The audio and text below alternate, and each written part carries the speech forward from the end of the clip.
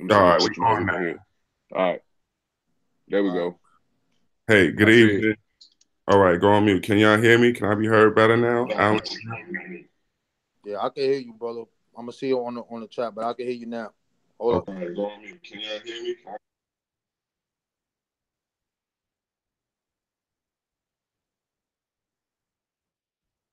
Can I be heard? Just tell me yes. We can get this started. Alan, that one of y'all just tell me yes so I can hear. Somebody? Hello? You good, bro? You good? Hold on, hold on. We good? Yes? No? Let's go.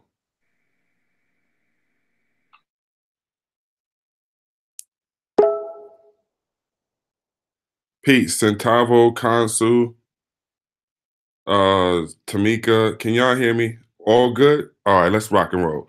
All right, so I want to apologize for the technical difficulties that we had. I want to thank all of y'all for joining us for this presentation. Uh, like I mentioned previously, I'd like you to just grab a piece of paper and a pencil and just jot down some things. If you have some questions or um, just something that you might want to do further research on.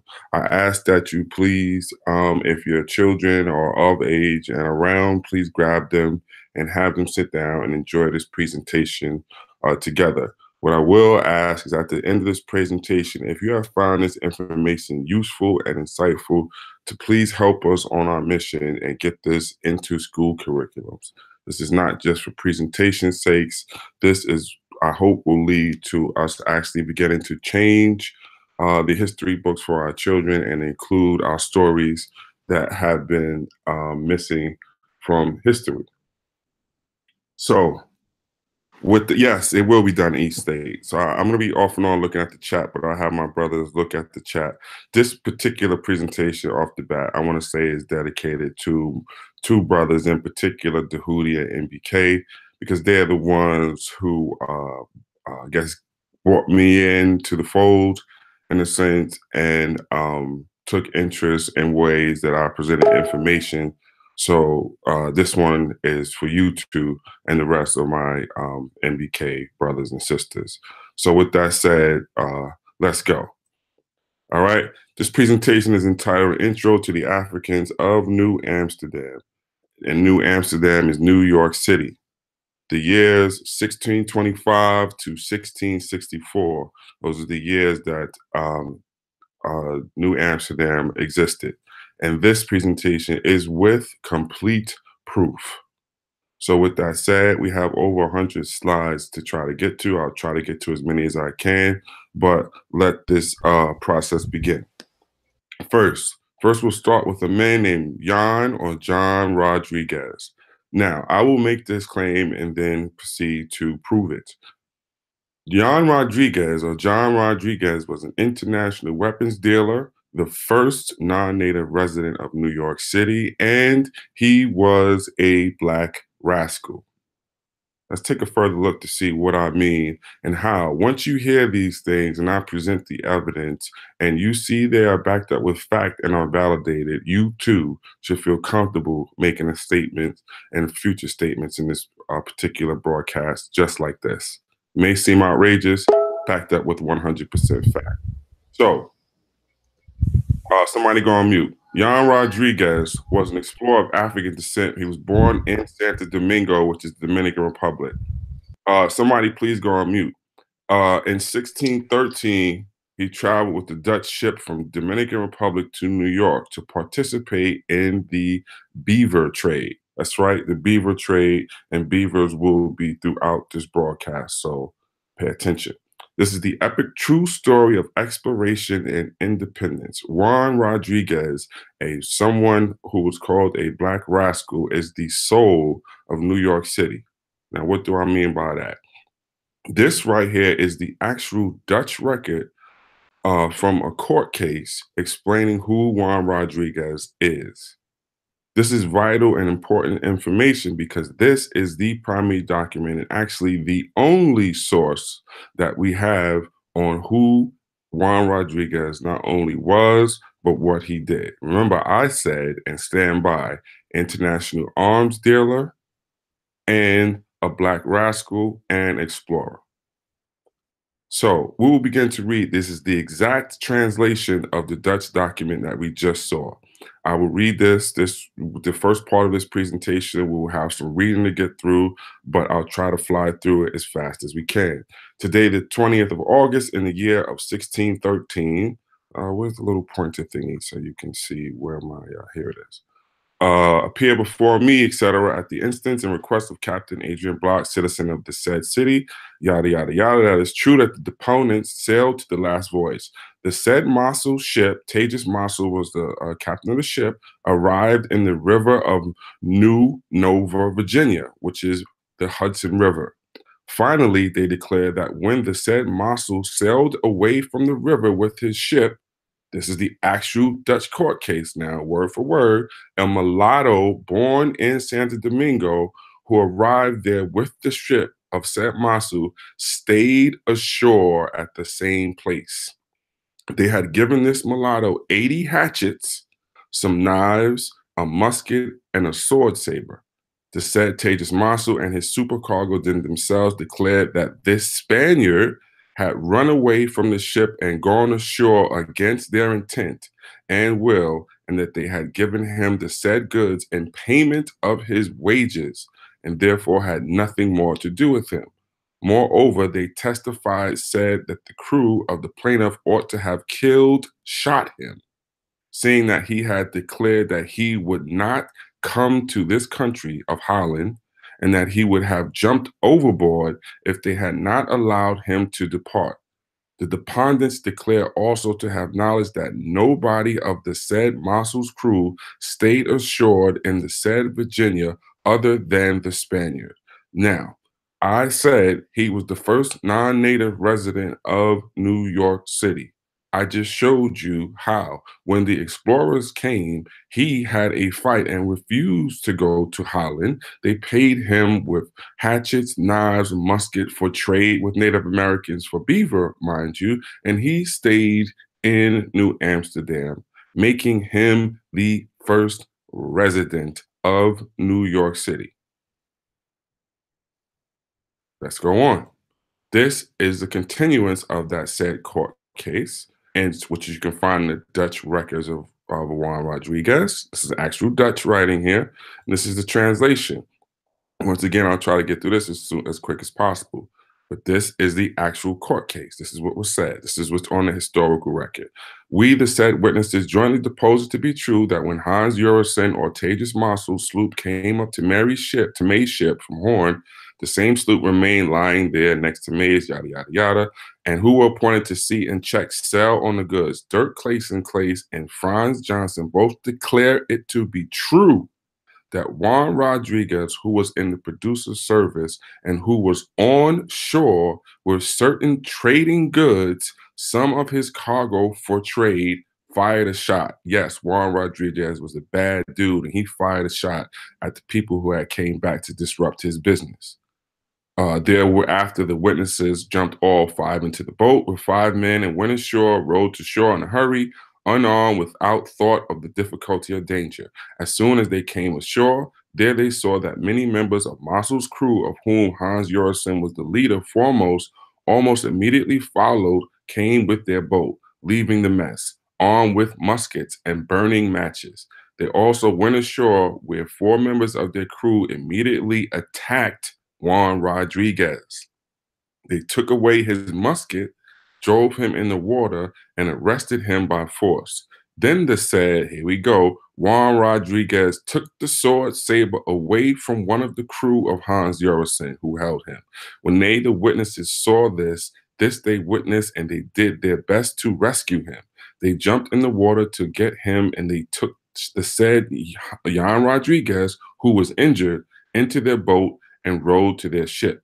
And when one of the witnesses then asked Hans Jurgensen why they should arrest and injure Jan Rodriguez, the said Hans Jurgensen answered, That black rascal, actually in the Dutch records, referring to the said Juan Rodriguez. Here's some words on wanting. This is dealing with the transaction in order to get the money due us And the other day, when it said Dirk brought the sword that Juan Rodriguez had taken away from Hans Jorgensen back to the ship, Cornelius Jacobs May, he saw Juan Rodriguez musket, which they had taken.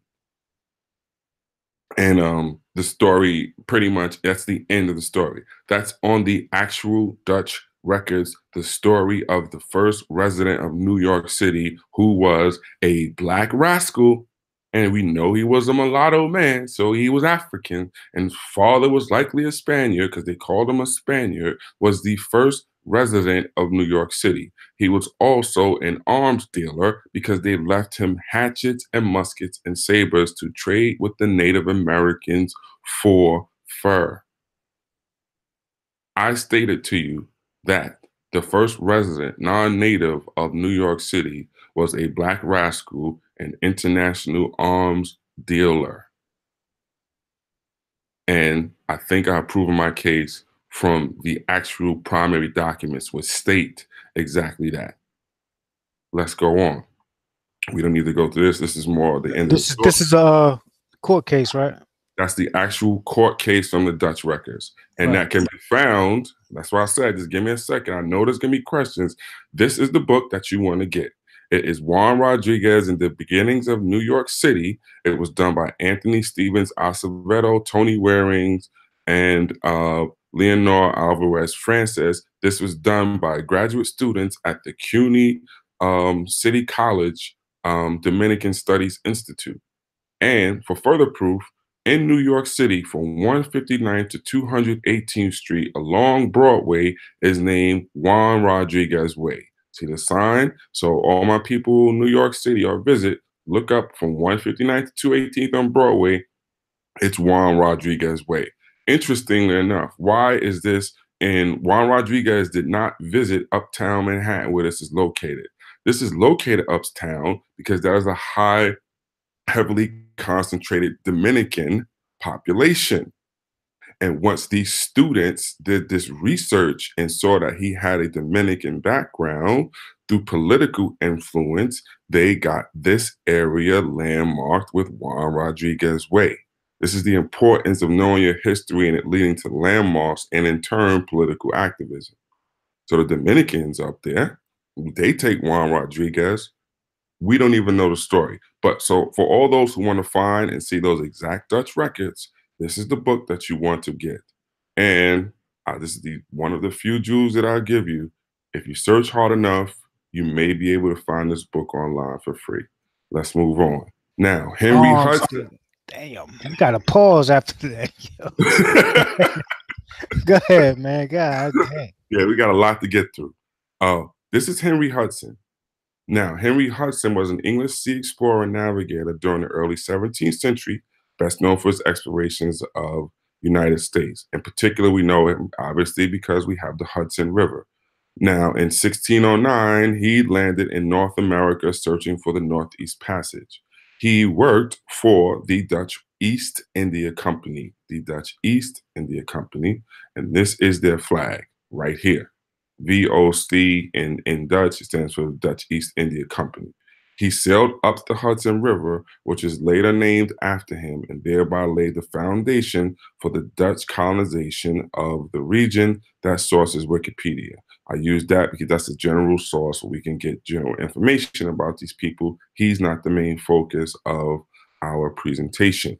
The reason that I bring him up now, he comes before Juan Rodriguez in 1609, and he doesn't find his north um, east passage, but what he does bring back is beavers, and they had interest in that. So they said, okay, we'll look into the fur trade. Now, independent sailors start to come at this time, and, and amongst those groups is where Juan Rodriguez comes just four years after Henry Hudson had come to New York City working for, because he was an Englishman, as we see, working for a Dutch company named the Dutch East India Company and their explorations. So that shouldn't be there. We'll keep going. This is the Dutch West India Company that we speak of. New York City was founded by a pirate company. The man who has run New York City the longest had a peg leg and owned the most Africans in New York City. I'm gonna let this stay here for about three to five seconds so you can see what I'm saying, and I mean every word in the statement that I just presented to you. And then I will proceed to present the evidence, evidence, excuse me, to show my case. So once again, New York City was founded by a pirate company. The man who has run New York City the longest had a peg leg and owned the most Africans in New York City. Let's go. The Dutch West India Company. Um, please, people who watch this who may be Dutch or no Dutch, I'm going to slaughter the language. I actually want to learn it or learn it better, but let me give it a try. Geo Trieryeerd West Indies Compagnie, right? So when you see these letters, these are the Dutch words for Dutch West India Company. This was their logo. Why are they important? So this man is named William Uselinx, and in 1621, he founded a company named the Dutch West India Company. This is actually a picture of the Dutch West India Company house in the Amsterdam, in Amsterdam. And what I highlighted here is you can still see those letters that I talked about in this picture stating that this is the Dutch West India House. It actually says it up here, West Indies Heist, and that's in Dutch. He is the founder of the Dutch West India Company. So, the Dutch West India Company was a chartered company, which means that it was a publicly traded company. It was had a charter, like a charter school, right? Of Dutch merchants as well as foreign investors. On June 3rd, 1621, it was granted a charter for a trade monopoly in the Dutch West Indies by the Republic of the Seven United Netherlands, right? And given jurisdiction over Dutch participation in the Atlantic slave trade, Brazil, the Caribbean, and North America. This company was founded and was given basically the Atlantic slave trade, Brazil, and the Caribbean, North America. This company founded New York City. Company. I'm going to keep stressing that. It was not a country. They were from a country, but it was a company that did it. This is the actual Dutch West India House in Amsterdam, and it still exists today. Um, part of my initiatives as well is if I get the support, I'd like to go to uh, Holland and deliver this same lecture and many others that I have before you. So, Dutch West India Company, this comes from the charter of the Dutch West India Company in 1621. You can find that at the Yale University site right? And we finally, by experience, that without the common help, assistance, and interposition of a general company, the people designed from hence for those parts, people going there, cannot be profitably profitably protected and maintained in their great risk from pirates, extortion, and otherwise, which will happen in so very long a voyage going to those places like Africa or Brazil or the Americas. We have therefore, and for several other important reasons and considerations as thereunto moving with mature deliberation of counsel and for highly necessary causes found it good that the navigation, trade, and commerce in the parts of the West Indies and Africa. This company was set up to exploit and take advantage of these regions in particular. Further goes on in their charter, where we have, therefore, and for several other important reasons uh, and considerations as thereunto moving with mature deliberation of counsel and for highly necessary causes, found it good that the navigation, trade, and commerce in the parts of the West Indies and Africa and other places hereafter described should not henceforth be carried on any otherwise than by the common united strength of the merchants and inhabitants of these countries being uh, Holland. And for that end, there shall be erected one general company, which is the West India Company, which we, out of special regard to their common well being, um, and to keep and preserve the inhabitants of those places in good trade and welfare. So I stated to you that after Henry Hudson, you had all of these other um, Netherlands shipping companies trying to get in and trying to exploit the beaver trade in, in this region. And they were having those fights, like the one we saw with the Black Rascal, the first resident of New York City, Juan Rodriguez. We those fights were occurring. And so the decision was to give this company control of this particular area that would soon become an area known as New Netherlands. And it was twofold in their reasons. It was multifaceted, but twofold in particular, as far as they wanted to interrupt the business that Spain and Portugal were doing in the New World. And they wanted to keep an eye on what England was doing because they had a few years prior set up an establishment known as New England and the Virginias. The Dutch were at competition with England and at war with Portugal and uh, Catholicism because they were breaking away from it. So now with this, we can see in their charter where they built forts for slave trade in Africa and the West Indies, Dutch West India Company. Further, None of the natives or inhabitants of these countries shall be permitted to sail to or from the said lands or to traffic on the coasting countries of Africa from the Tropic of Cancer to the Cape of Good Hope, nor in the countries of America or the West Indies, but in the name of this united company of these united Netherlands. I will stress to you once again that a company, the Dutch West India Company, which was a private company, founded and controlled New Amsterdam until 1664, a company called Dutch West India Company. Now, I have some disputes with academics. That's why I hope that they uh, see this video at some point. The um, the somewhat uh, leaders or experts in this field, I have um, had an argument with uh, or a discussion with about the use of pirate versus privateer. And then briefly, I will state that the only difference between a pirate and a privateer is a permission slip. And that permission slip is called a letter of marque. If you look at the top of your Maker's Mark bottle, you will see a burning candle. That's what they made the seals with on the letters of marque. And so when you have a letter of marque or a permission slip from a country, you are able to go and pirate ships of other nations and what have you. And it's okay because you're a privateer. Now, when you lose that right to do it, the country stops sponsoring you, but you still continue those activities, then you are a pirate. So Captain Kidd at one point was a pirate. He became he was also a privateer because he worked for some of these companies. John Hawkins, the one that people know from slavery, was a pirate. But when he started to doing stuff in the name of England and getting getting letters to do this for England, he became a privateer. Same actions he took, same kidnappings, thefts, murders, and robbers.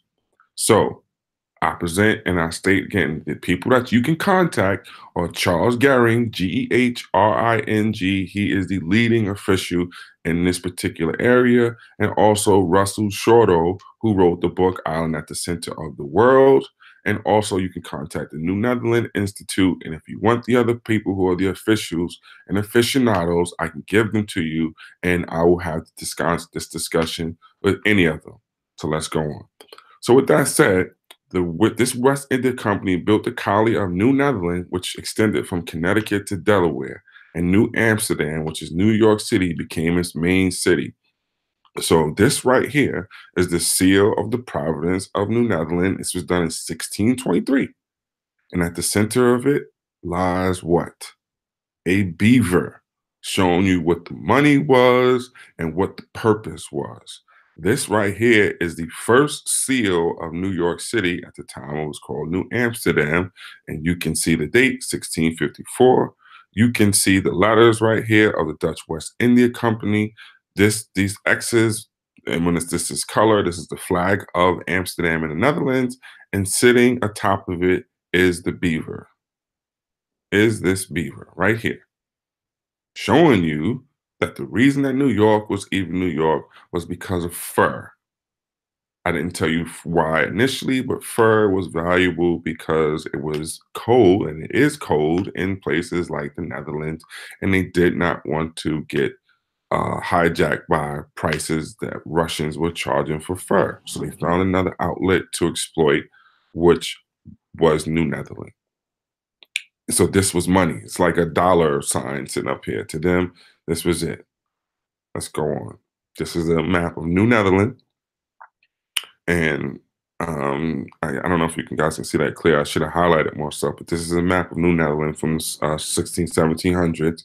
This is Long Island right here, and Manhattan is in here. Hopefully, you can see where my uh, uh, highlighter is moving. And somewhere on here, I didn't put the part, but there's beavers to show you like the times turkeys and to show you type of animals that this showing lived here and what have you.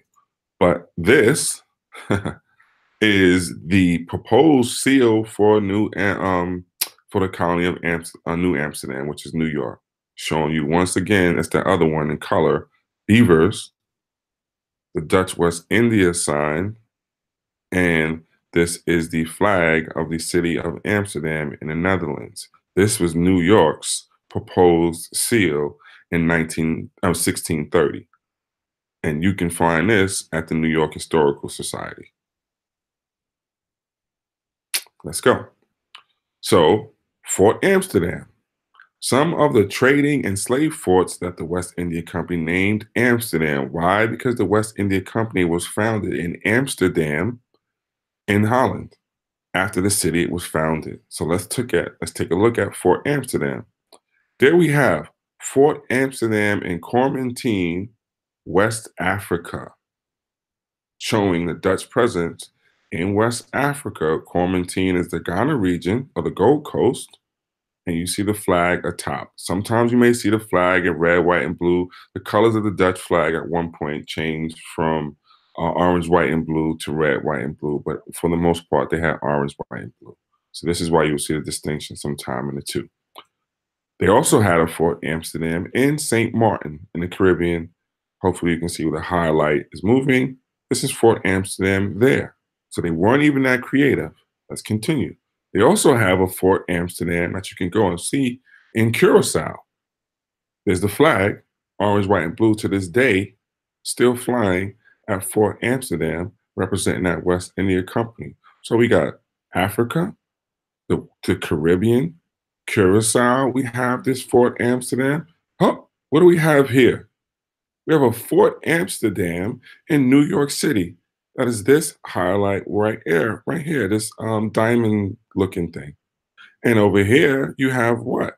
This is a map. This is an actual map from the um, from from New Amsterdam from 1660. This is an actual historical map.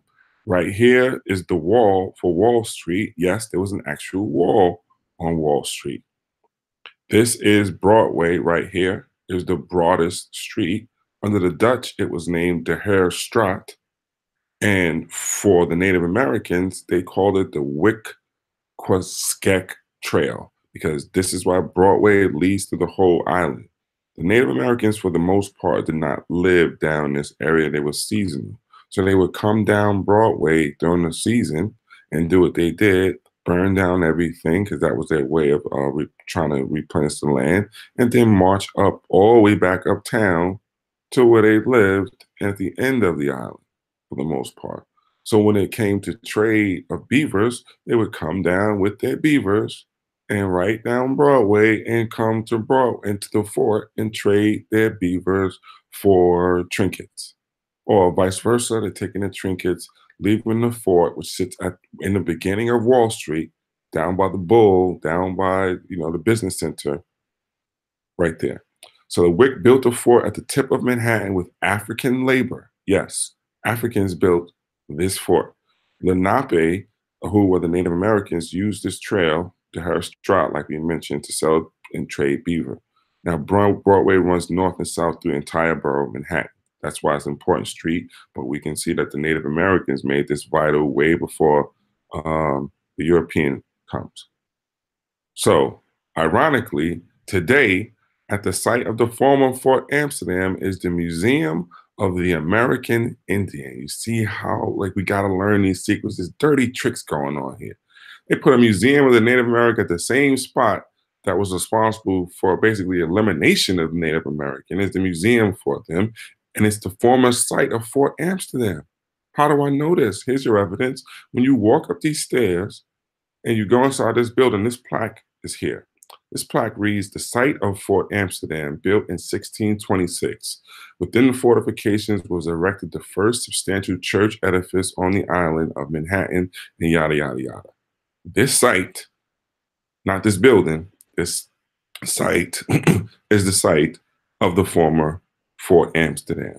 So we have a Fort Amsterdam in Curacao, one in West Africa, one in the Caribbean, and one in New York City, all run and maintained by the Dutch West India Company. Here's another shot from the Castello plan. You need to look this up if you're interested. It's an old map from 1660. And I just want to zoom in to show you a better um, uh, idea of what the fort at the beginning of Manhattan looked like. And flying right above it is the Dutch West India Company flag. Fort Amsterdam. New York City, run by the Dutch. And even further, so the flag of the West Indian Company, like I mentioned, flew over various forts they controlled in Africa and the Americas. It also flew proudly New York City. So when you take the family to Epcot, to Disney World, they have the Epcot American Adventure, and they have an area called the Disney Corridor of Flags. In that is all the old flags of different countries that laid some claims into sections of America throughout historically. And look what we have here. The West India Company flag is right there. And you can, right there, right? It's telling you the story that we don't know about. These guys responsible, major part of our enslavement and besides the foundation of, of New York. But yeah, right here this company, kidnappers and pirates. In Epcot, go to the corridor of flags. All these are historical flags, and it's just I'm showing this slide to prove my point that this is not just mumbo jumbo. This is real. Let's go on. So this is the flag of New Netherlands of the Netherlands in Holland from 1572 to 1795. It's the flag of the Dutch West India Company. Get it? It's a secret. This is the flag of New York City. this is the tricolor flag, same colors as the flag, uh, denoting the origin of that company and that country. And the symbols in this flag give clues to the history. Let's take a closer look.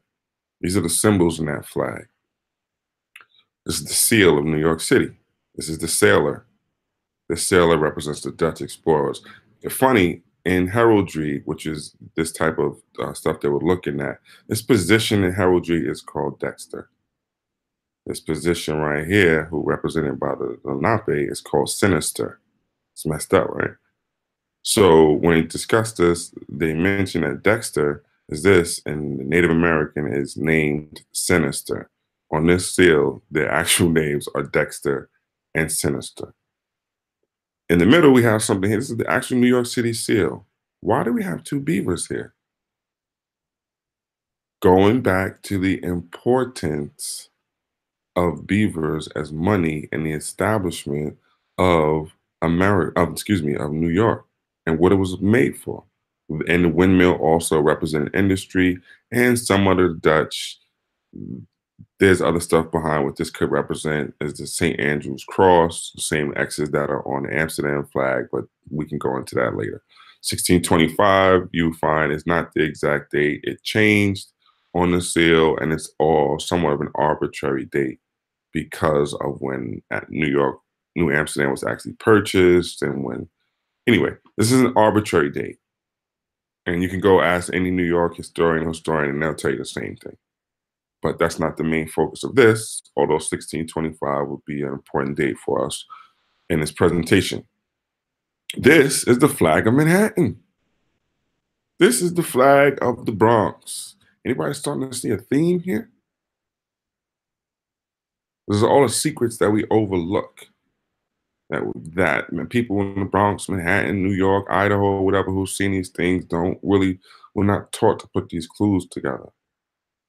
And if you teach your children these things, especially as far as New Yorkers are concerned, they'll understand the history of New York and see themselves in it by the end of this presentation. But with that said, when you ask your kid who founded um, New York, they can look up at the flag. This flag is in every city park and government building in New York, and he'll tell you, he or she will tell you the Dutch because they know those colors. And you'll ask them why, and they'll say because they came wanting some beavers, and he'll look at this same flag, and they'll ask you who they get the beavers from, and they'll see the Lenape on this flag, and now your kid will understand the history of New York and will have visual clues, will never forget this information. This is the type of information and the ways that I am trying to encourage my team to get this information and present it so that the children always have these reminders of history because it's all around them and in many cases it's free. So this is the flag of Manhattan. This is the flag of the Bronx, orange, white, and blue, representing the country and the company that ran New York City. Ha. This is a map of the Netherlands. Let's take a look what we have on this map. On this map, we have a place called Harlem. This isn't New York. This is the Netherlands. This is Amsterdam. We have a place called Harlem. There we go, right here. We have a place called Noordwijk. I want people to remember this name. Write it down. This will come up later. Noordwijk. I did it here for a reason. You also have a place called Amsterdam. Do we have a place called Amsterdam, New York? We certainly do. We have a place called um, Amsterdam Avenue in Harlem. We certainly do. There's a place in Amsterdam in Holland called Brooklyn. Huh. Do we have a place in New York City called Brooklyn? Yes, we do. Huh. Here's a place called Newkirk. We have a place called Newkirk in Brooklyn? Yes, we do. But this isn't New York. Are we looking at? Oh, no, this is Holland and Amsterdam that we're looking at. The distance between Harlem and Amsterdam and Holland is roughly uh, 12 miles, right? The distance between Wall Street, which was the center of New Amsterdam, and Harlem, New York, is 11.2 miles, roughly 12 miles. Uh, roughly 11 miles, but give or take a mile. Huh, coincidence? But let's dig deeper. Towns in the Netherlands, like I mentioned, Brooklyn, Harlem, Amsterdam, Noordwijk. The people who control the Netherlands are called the Staten Generaal. This is their logo. The States General. This is where we get the name Staten Island from because these are the people who actually ran the government and they pay tribute to them by naming that particular place Staten Island after the state's general. Get it? Map of Netherlands. Isn't New York. This is the this is Amsterdam. Brooklyn, Harlem, Amsterdam, Newkirk. There's, there's tons of other ones, but I think you get the picture. Huh. New York sports teams. Here's my sports fans. Why do the, why do the Islanders wear orange, white, and blue? Why do the Knicks wear orange, white, and blue? It is for the company that founded the city. They are representing the West India Company.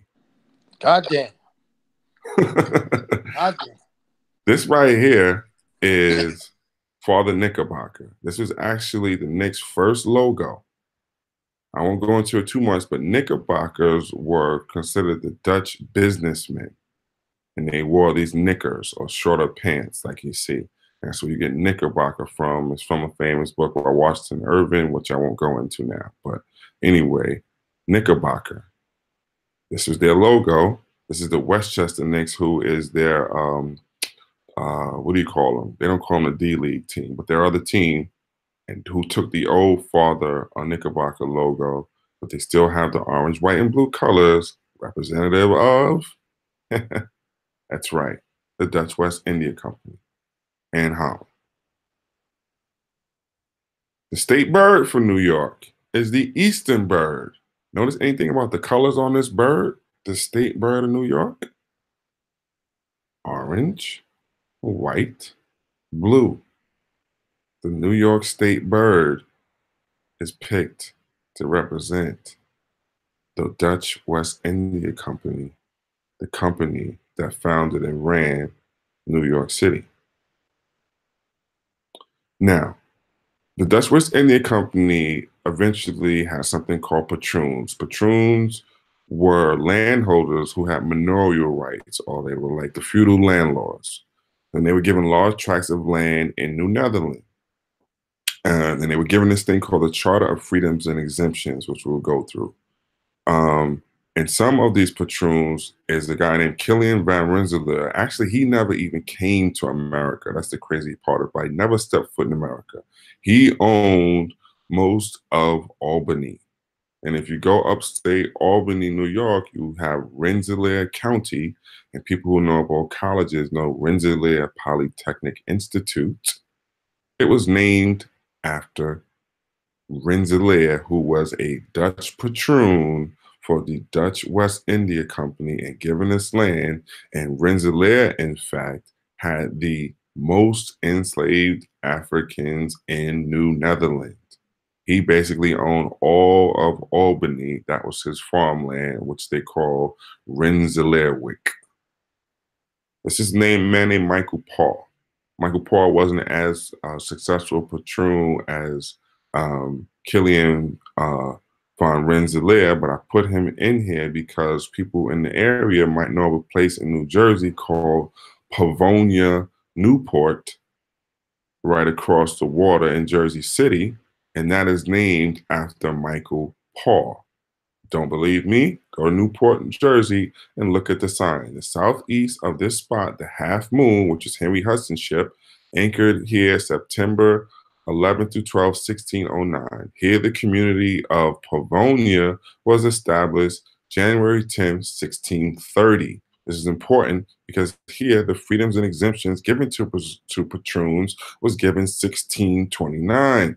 After they got this, they started populating this area with poor Dutch workers and Africans and then they got into wars with Native Americans. There's, a big war if you want to look up called the Pavonia Massacre, and you can see it.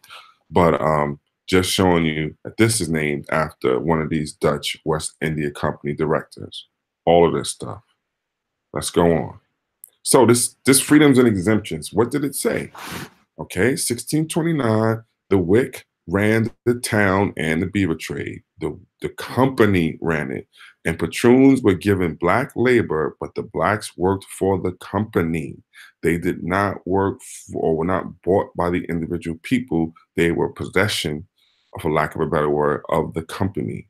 And the company promised to finish the fort. How do I make these statements? Well, um, in uh, section 15 of that freedom's exemptions, it says, It shall also be permitted that the aforesaid patroons all along the coast of New Netherland and places circumjacent to trade their goods, products of that country for all sorts of merchandise that may be had there, except beavers, otters, minks, and all other sorts of peltry, which trade alone the company, which means that the company alone reserves the right to trade. You don't get to sell beavers if you come here. That's all the company's money. This is number 30. The company will endeavor to supply the colonists with as many blacks as it possibly can on the conditions hereafter to be made without ever being bound to do so to a greater extent or for a longer time than it shall see fit. I repeat, the company will endeavor to supply the colonists with as many blacks as it possibly can. Ain't that something? The reason that they got New York populated is because they promised these people that they would give them Africans so they could exploit their labor. This is why New York and this metropolitan area gets populated because they said, look, we'll give you the blacks to do the work. You just come here and do something everybody worked for the company. Those blacks that they gave them um, were possessed in the company. Where'd they get the Africans? Let's go back to remember the charter. They were in West Africa. They were in Brazil. They were uh, taking um, Spanish and Portuguese ships. We'll get you as many blacks as you want, was one of the things they promised these patroons. And finally, 31, the company promises to finish the fort. The Africans are the one who did that. on the island of the Manhattans, which is Manhattan, and to put it in a posture of defense without delay, and to have these freedoms and exemptions approved and confirmed by yada yada yada. This is this is the freedoms and exemptions. You too can find this online with the English um, translation. And don't believe me, look go right to number 30 and look up where it says that they're promising them these blacks. Let's go on. Huh.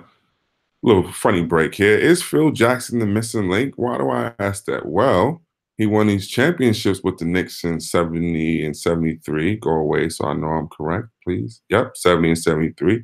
And he also, did you notice. Won a championship with a team called the Albany Patroons. Hmm. This is where he won his first championship. See where they get the name from? Patroons? We just saw who the patroons were. the exploiters of your people and of the land and of the Native Americans. Albany was Rensselaer's town, so they did the culture, uh, the team up there and called it the Albany Patroons. And you can see the Dutch clog right here as well, denoting that heritage little jokey joke, but I just wanted to put some history. So now, if your kids are in the basketball or sports and they know about Phil Jackson, you can relate a story. Now you have clues like knickerbockers and patroons in order for them to understand this history. This is the flag of Albany. Get it already with the orange, white, and blue? I'm sure. If we look closer at it, you'll see that this is the beaver right here, chopping down a tree. The beaver's here. So the beavers represented commerce. They were the money. City College University. Name of their sports team is the City College Beavers. This is that this is that city seal again. You can get a closer look at these two animals right here in the New York City seal beavers. Now, New York is the Empire State and the creme de la creme as far as some people on the planet are concerned. And ask yourself, these things must be really important and vital if they threw two beavers on the city seal to represent the city. Something to think about. Along with that, colonization and exploitation. So, who's this guy? That was a pirate company. This guy, Director General for the WIC, his name is Peter Stuyvesant. He was the longest running leader in New York City history, 1647 to 1664. He ran a trade of Africans in Aruba, Bonaire, Curacao, West Indies, and New Amsterdam. Peter Stuyvesant had a peg leg with silver rings. Peter Stuyvesant owned the most Africans in the city.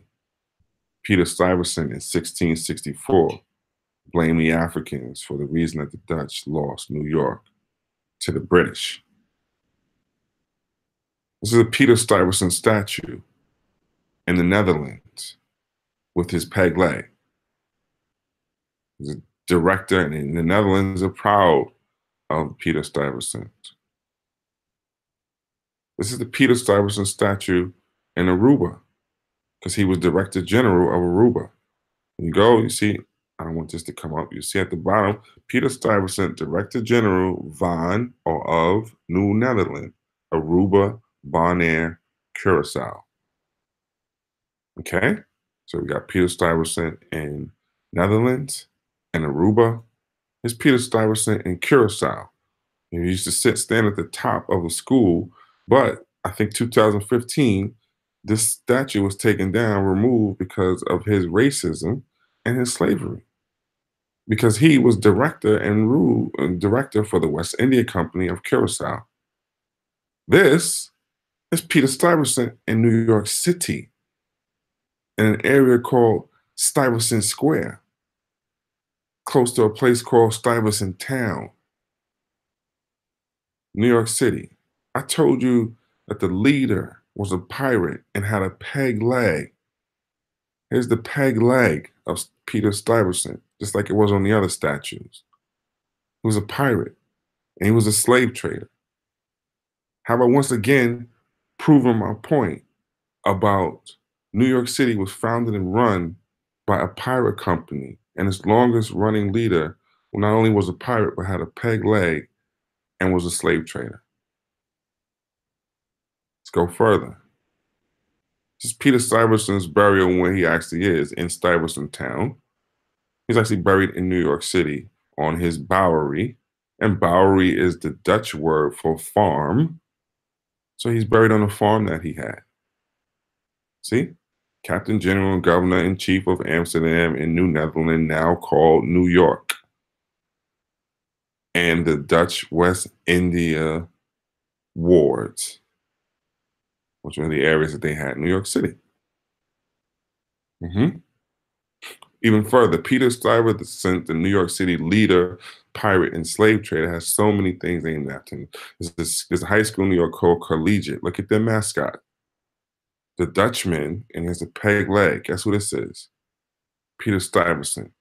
One of the, actually, probably the premier high school in New York City is named Stuyvesant High School. The name the Stuyvesant High School Peg Legs.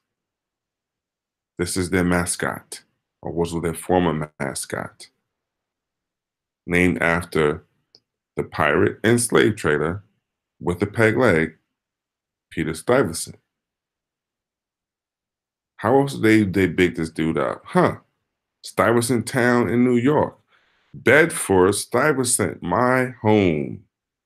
Brooklyn is named after the slave trading pirate Peter Stuyvesant. Stuyvesant High School, as I mentioned, upstate New York, there's a Stuyvesant, New York. There's the street sign in Brooklyn, Stuyvesant Ave. Yes, where they filmed Pause to Do the Right Thing. There also was a Peter Stuyvesant cigarette. Did you know that? And if you looked carefully at the cigarette, guess what the logo is? It's the same logo of the city of New Amsterdam. See the arrow? And look here, there's the beaver right here. There's the three X's on the pack of cigarettes. We worry about Illuminati and all these clues. You know how many clues we're missing right in front of our face about our history? But we're looking on the back of a dollar and all this crazy stuff. Let's go on. Now let's get let's get in the nitty gritty. What's evidence? A lot of talking, right? A lot of statues and laws and ordinances of laws and ordinances of New Netherlands, 1638 to 1674. The West India Company and colonists kidnapped and brought Africans to New Amsterdam. Yeah, I said it. Let's look what they said in 1655. Whereas the Director General and Council of New Netherlands find that Negroes lately arrived here in the little ship, the White Parrot from the Bight of Guinea. Lately arrived, meaning they're already there. Right? Africans being imported into New Netherlands or New Amsterdam. Who's this signed by? Peter Stuyvesant this guy. Right? Let's look further at the note. By a resolution dated November 5th, 19, 1654, the Amsterdam Chamber of the West India Company, right, proceed with their ship, the White Parrot, to the coast of Africa for slaves to dispose of them in New Netherland. Bring that back. Bring it back. Run that back. There's a lot more, man. There's a lot more. There's a lot more. There's a lot more. To proceed with their ship, the White Pearl, to the coast of Africa for slaves and to discuss dispose of them in New Netherland and tend to the increase of population and the advancement of said place. We depend on the Africans to increase the population and advancement of said place. Increasing population not to sex, but to encourage people from Europe to come there because you too, remember the promise, will get a black to do your work. Now, what's the last line say? This was the first cargo of slaves imported into New Netherland, or the present territory of the state of New York, direct from Africa into New Netherland, New York. Now, same laws and ordinances, Negroes imported from Africa to New Amsterdam in order to favor this plantation and you can find this is dated 1652. In order to favor this plantation the more, we hereby consent on a proposal of the inhabitants that they shall be at liberty to bring in their own ships from the coast of Africa as many Negroes as they shall have need of for the cultivation of the soil, and that on the conditions and regulations herewith transmitted.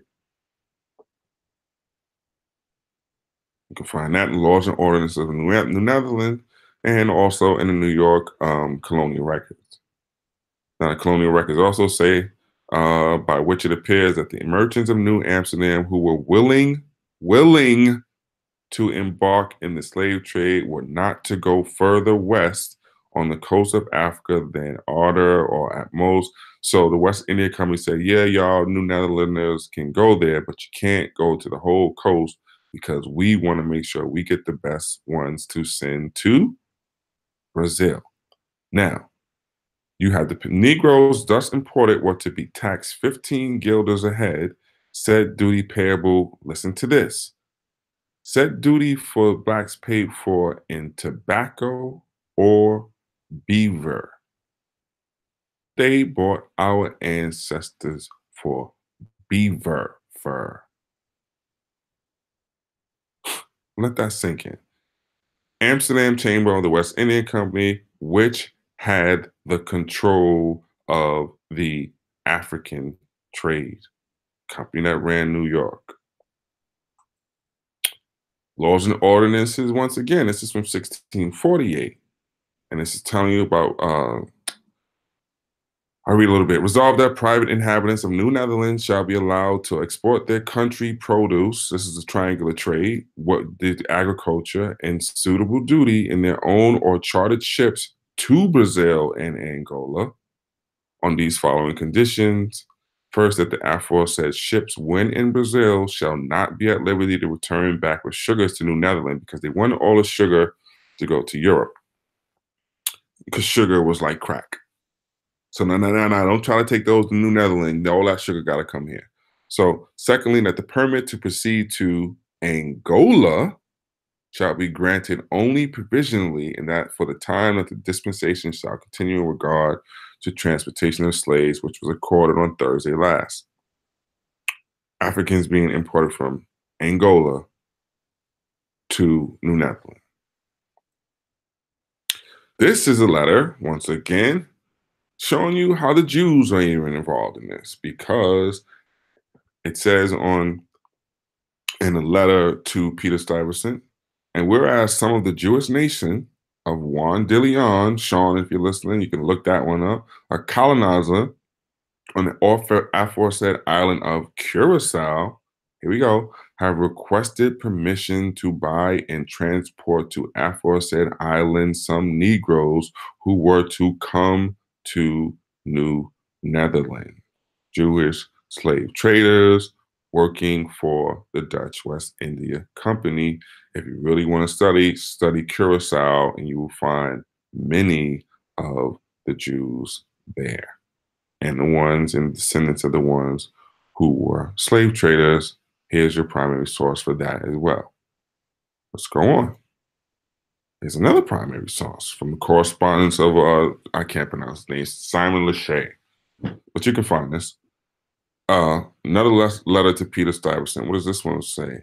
It says that it is true that people are busy at The Hague, which is in the Netherlands, to high and mightiness to bring about a general reform on the colonies, and New Netherlands would not be forgotten. See? New Netherlands, here's a, I'll just give a backstory. New Netherlands' big thing under Peter Stuyvesant is they were like the little uh, bastard child of uh, exploitation. Brazil was the prize. India with the, with the, East India Company. Nobody cared about New, New Netherlands. The beavers were cute, but it wasn't the big money maker.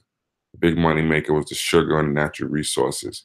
So you know it was, and they they were not allowed for a while to go directly from New Netherlands to Africa to get um, Africans and they kept begging, they kept begging. They wanted to build ships and the whole bit. So finally, as you saw with those letters, the company relented and let them do it. So now they, you know, this was a, the saying, you will not be forgotten. So anyway, a provisional resolution has already been passed that, okay, uh, where do we go from here? They shall be allowed to ship their own products. This is triangular trade as flour, fishes, meat, bacon, and peas, and beans and everything else in their own or chartered bottoms to Brazil and Angola, and that the ships returning may take freight from Brazil, but those coming back from Angola are to bring Negroes to be employed in farming. Orders from the Dutch West India Company going to Peter Stuyvesant, telling him what you better bring those Africans from Angola to do. We says we too have the right to send a ship to Angola with an assortment of provisions and provides and bring back Negroes from Angola. Let's go on. This is where they were in Angola. this is Fort Aardenburg. And they have been fighting with the Portuguese for this fort for 100 years. And it will go back and forth between the Portuguese and Dutch and what have you. His, it was named some, uh, something different under the Portuguese. But this is their presence in Angola. This is where they're getting Angolan Africans from. Right here. When it was under the Portuguese, they raided the ships, pirating.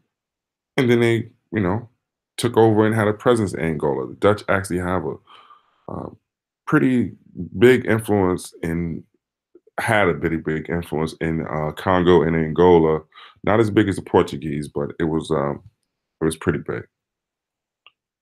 Huh, what do we have here? We have a primary document, another one of that same Gideon ship. This is the exact and actual certificate of the ship landing in New Amsterdam from Africa. This is your primary source from Africans being imported into New York. Certificate of the landing at New Amsterdam on the 14th of August of 290 slaves, 153 men, 137 women from the ship Gideon on account of the West India Company. You can find this source at the New York State Archives. It's there. There you go. There's your proof. But we got a lot more. Now, so the Africans in New York, right? We just spent the last half an hour, 40 minutes uh, talking. And um, I think this is what the people wanted to come for primarily. But I wanted to give a background on the environment that these Africans uh, step into, the world that they lived in, the economics, and the sort of the moving parts that um, have been going on.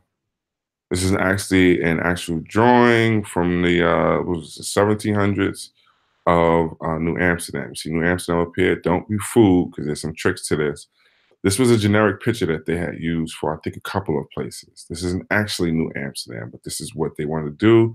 Because I guess they were lazy and they just put different things in it. Why I say this because the point of view of where they're standing. If this is New York, yes, this sign is in the way. I don't want to move right now. Then they would have to be standing somewhere outside of Manhattan to look at, into Manhattan. But what it does show, if you look at the bottom, look at these figures here. These are Africans who are representative of Africans in New Amsterdam who are being exploited for agriculture. That's who these people are in this picture. And that's what they're supposed to represent. And you can see the man trading some type of skins to this woman for a, a basket of food, showing you the importance of those skins, whether furs or otters or minks or what have you right? It's something that people need to jot down as well. I hope people are writing stuff down and I hope. Anyway, the grand design, something you can Google.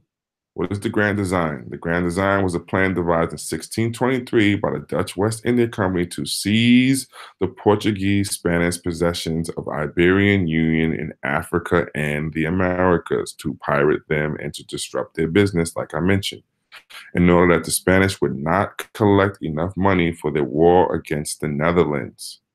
The plan was to first seize the capital of Brazil, and then the main Portuguese fort in the coast of Angola. And this way, the company would control both the lucrative sugar plantations in Brazil and the Atlantic slave trade. Dutch West India Company. You can find that, you know, start on Google. I mean, start on Wiki, and you can grow from there if you want to really want to get into grand design. Um, but yes, That was a part of the grand design. This is why they were pirating and fighting with Portugal, because they were part of a war that was an 80 year war. We're not going to get into that right now. All right. So, what do we have here? This is an example of them doing just that. It says the commissioners uh, from the same correspondence book in 1625 or 1626, African and Atlantic Creole sailors were kidnapped from Spanish ships. There's an example of them doing just that. So 1653, it is concerning the privateering. Remember that word? Look it up and find out the difference between privateering and pirating. It's just that permission slip. Or sailing by, what did I mention? Letters of marque have made their report and encourage everyone at this juncture in time to equip a ship or ships to inflict damage on the Portuguese. This is a resolution of the West India Company to encourage quote unquote privateering. Actual historical document from 1653, them raiding them ships and taking Africans and everything else. Correspondence 1647 and 1653. You can find it out. So they have a history now of Dutch raiding ships and taking Africans, both free and enslaved, because Africans had been a century in the Americas already, and some of them happen to be free, and some of them happen to be sailors. So when they took a ship, they would take the ones that was in the bottom and change, as well as the ones who were free and sailors, and they sell them as well. This is historically proven by this document and others of what their privateering activities were.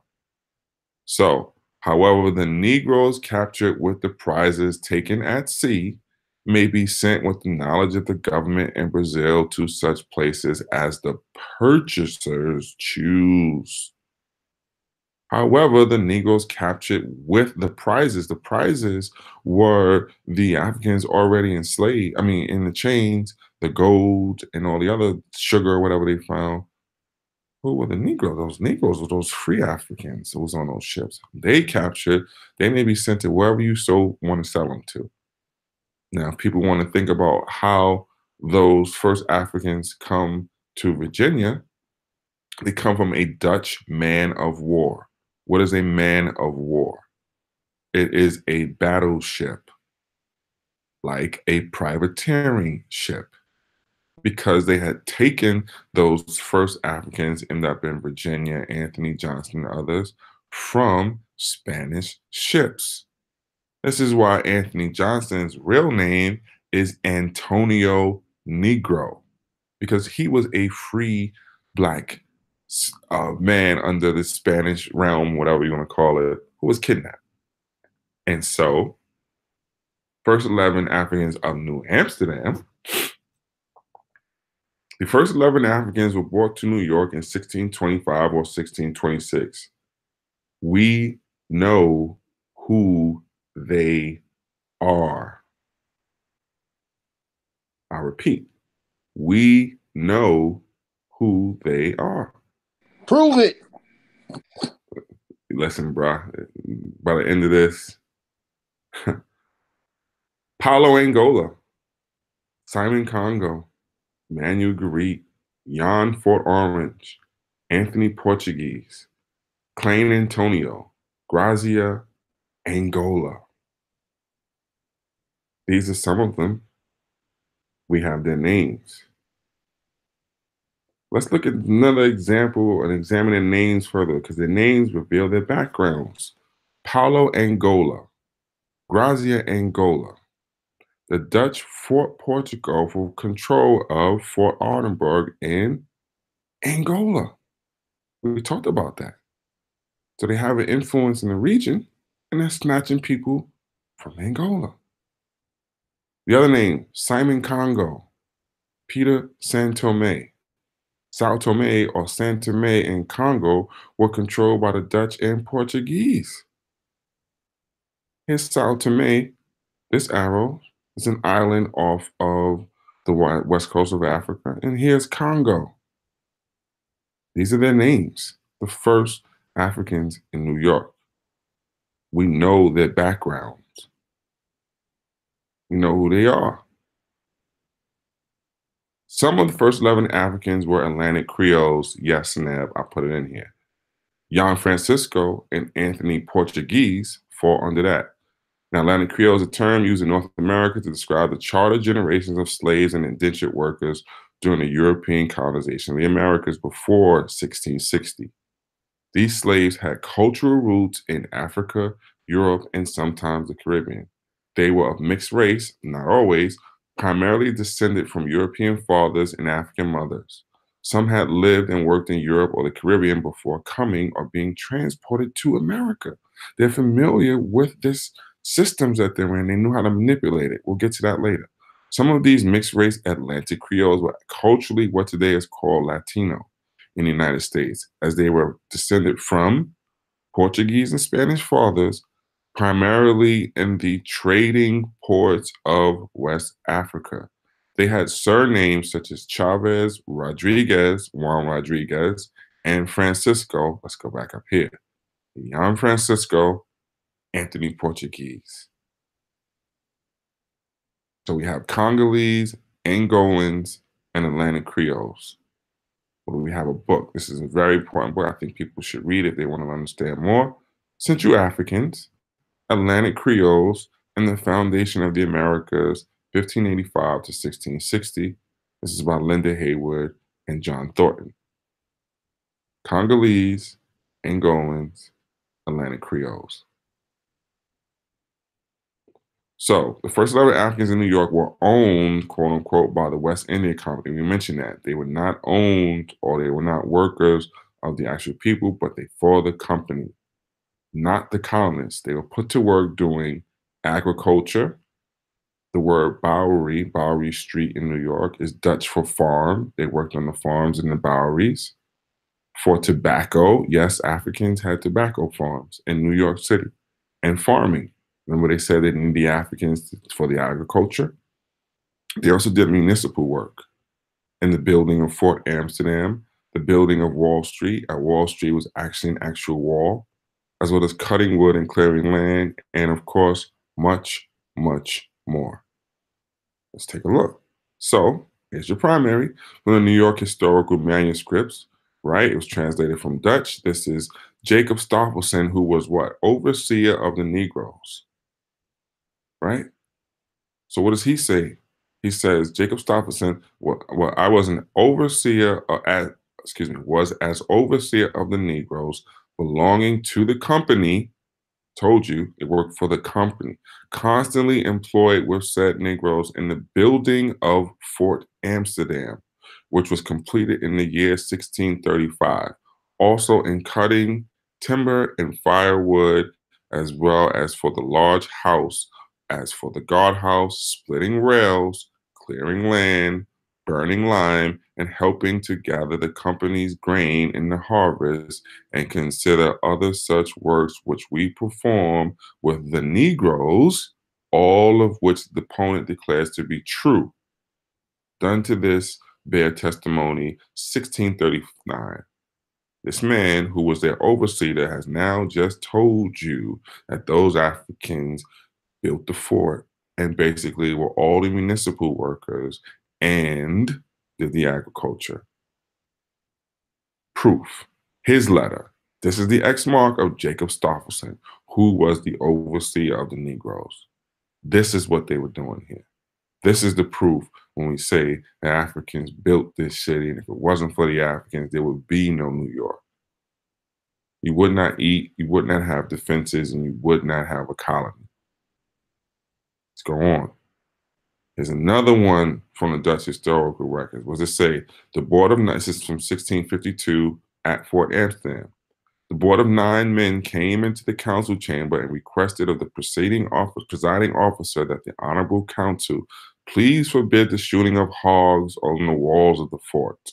Yes, they had animals running wild. So the Director General approved the request of the commonalty that and furnished by his own servants or Negroes.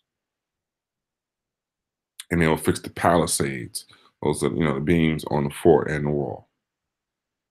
Now, here's Fort Amsterdam from an actual map um, from the Castello. Is it the, yeah, this Castello plan. Um, here's the fort. Here's Broadway. Here's what do we notice here? See this thing right here? This is Wall Street. There was an actual wall on Wall Street that the Africans had to build. Here's a sign if people come to New York and go to Wall Street that'll tell you that this is the site of the Wall of New Amsterdam. In 1653, the city of New Amsterdam erected a wall along the northern edge of town to protect the, the, the inhabitants from attack. Wall Street had a wall, and it was built by Africans. So when somebody says Africans built Wall Street, pull out these primaries for them. Now, why isn't it here? This is in the way, but the one here says African tobacco farmers in New York City. This is from 1642, and it tells you that on the plantation of Thomas Wall, Paul, excuse me, he shall pay annually as rent of the aforesaid plantation and Negroes 750 pounds of well inspected tobacco. Do you think that Thomas Hall was the one planting and growing the tobacco? No, it was the Negroes that he had under his work. African tobacco farmers. See how we can make those statements? We use the primary sources, 1647. But in case one or both of those Negroes should happen to die during the lease, the lessee shall receive a rebate for them according to arbitration. So, hey, you lose a nigga, we'll give you some type of uh, discount on it. Once again, New York Historical uh, Manuscripts, Dutch, uh, 1638 to 1642. Uh, you can find this. Now, Africans of New Amsterdam lived in the town among them. Now, this is an actual map called the original Dutch West India Grants. You can Google and find that. Um, and this is the fort again. This is the Great Highway or Broadway, and these purple, blue, and yellow things are people's houses.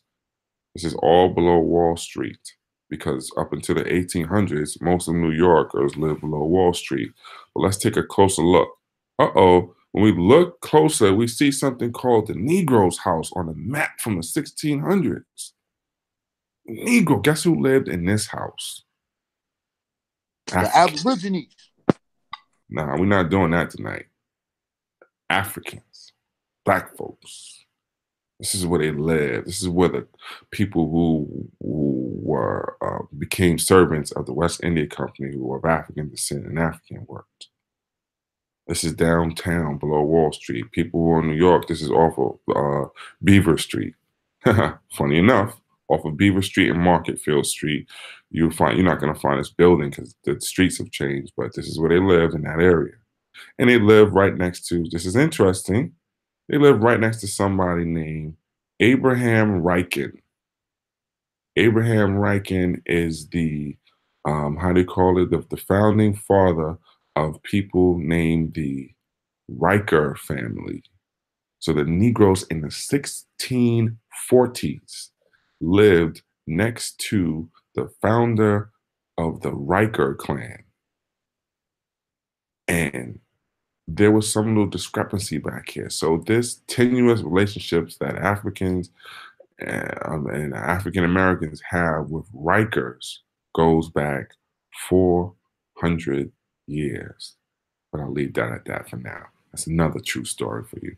Okay, so the first African women, because I only showed you eight men. So where did the African women come from?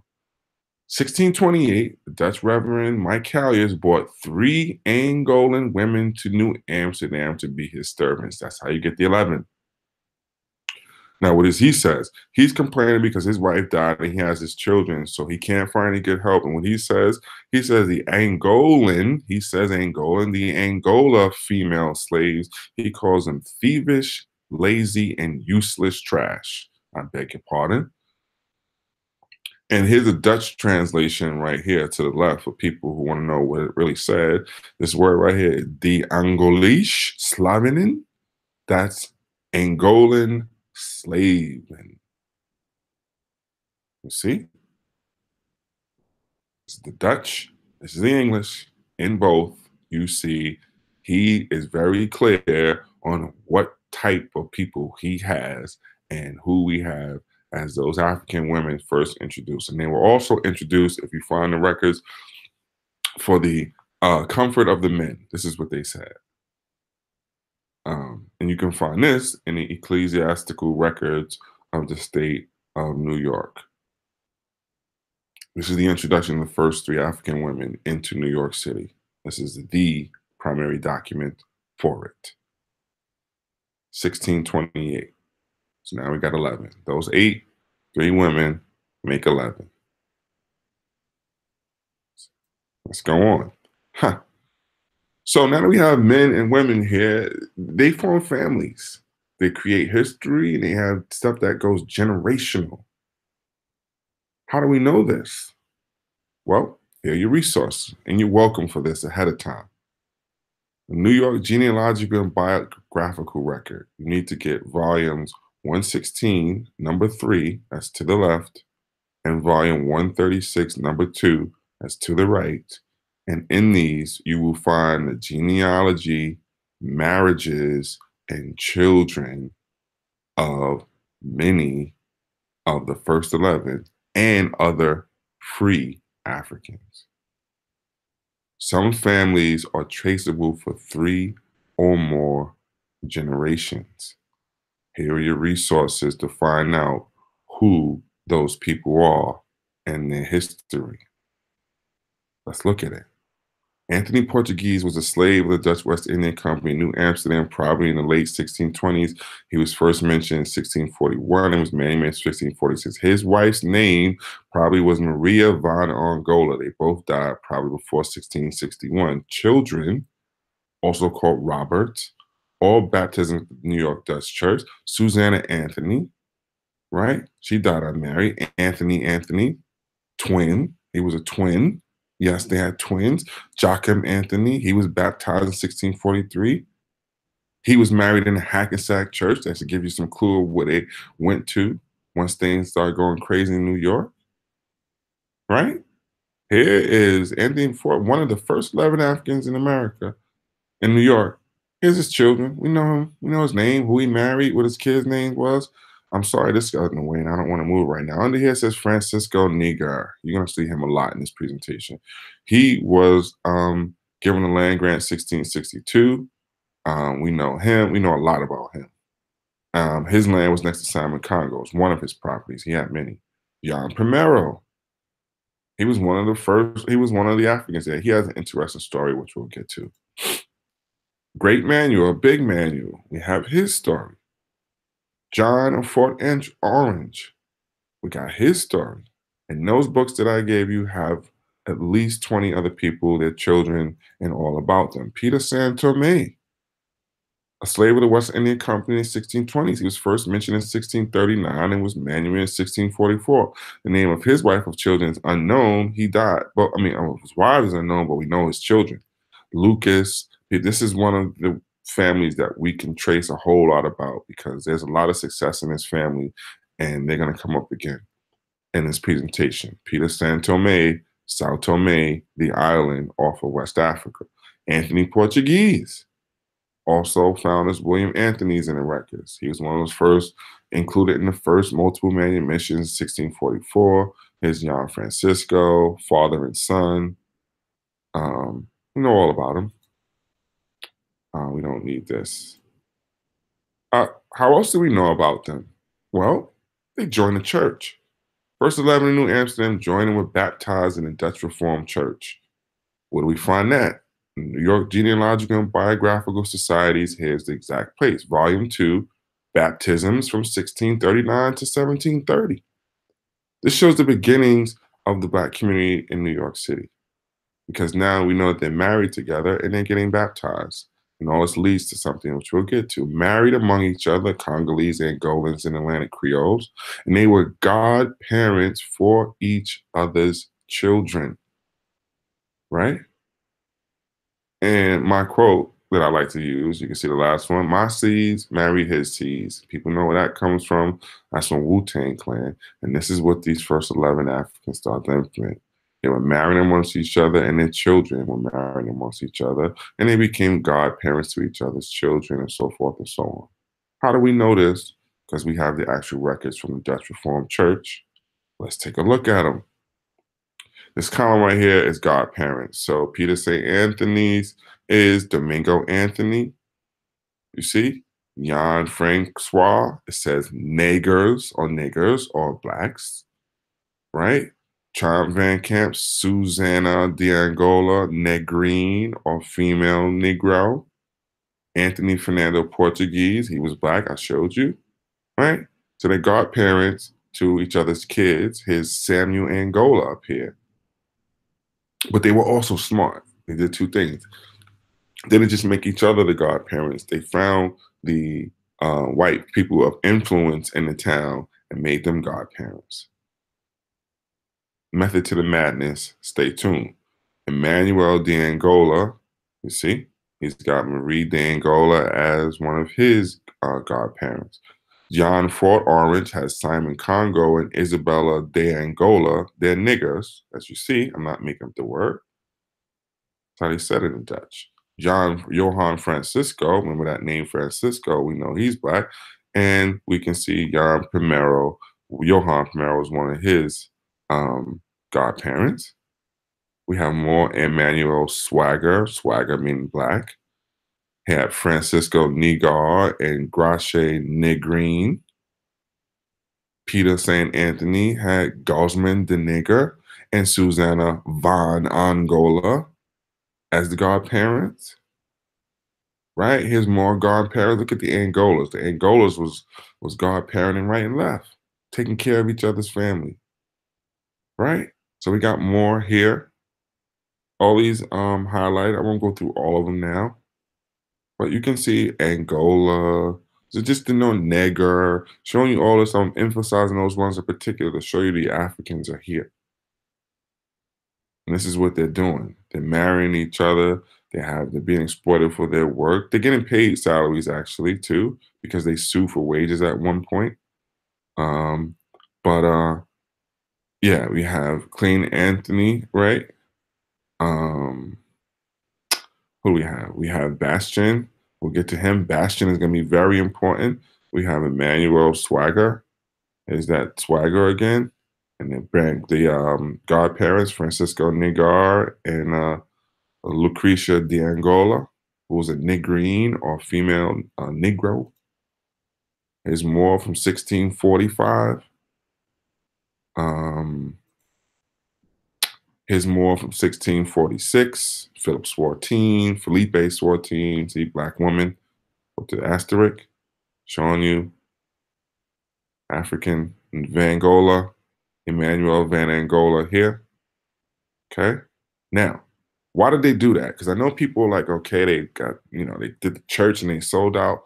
Look at why Africans went and got Christianized and baptized. Read this with me. This is from the Reverend of the Claytons of Amsterdam in 1664. As to baptisms, the Negroes occasionally request that we should baptize their children, but we have refused to do so. Why? Partly on account of their lack of knowledge and of faith, and here we go, partly because of the worldly and perverse aims on the part of the said Negroes. They wanted nothing else than to live to deliver their children from bodily slavery without striving for piety and Christian that virtues. Are we understanding why they did it? Because they knew the world that they were living in. In order you, for you to get free, one thing you definitely had to do was say you was a Christian, and so they couldn't enslave another Christian. So they was trying to get their kids baptized so their kids could be free, and they was trying to get baptized in the church so they could be free. How do I know this? Because it's coming from the reverends at the time's mouth telling you why these Africans were getting their children baptized and themselves baptized. Do I need to see any more proof? 1664, the Reverend telling you. No, they wasn't gung ho about Jesus 100%, although I'm sure some of them did believe it. They was doing it because it was one as a tool to get free. Hmm? You can find that source in the original narratives of early American history, volume 8. It's from the Reverend who was there. Partly because of the worldly and perverse aims on the part of the said Negroes. They wanted nothing else than to deliver their children from bodily slavery. Let's go on. They also adopted each other's children. This is how they formed that community. And they fought for their children to be free. Now let's read this. This is from Stokes Iconography. William Kieft, who was the director on 1644, Klein Antonio's, and his ground beef. This Negro has identified as Anthony from Angola. Anthony Van Angola, the patentee, was then the widower of Catalina Van Angola, married Lucy Van Angola in the Dutch Reformed Church. On, on 1643, Dorothy Angola stood godmother for their little son Anthony. And Anthony and Lucy died soon after, and the child was immediately adopted by Dorothy.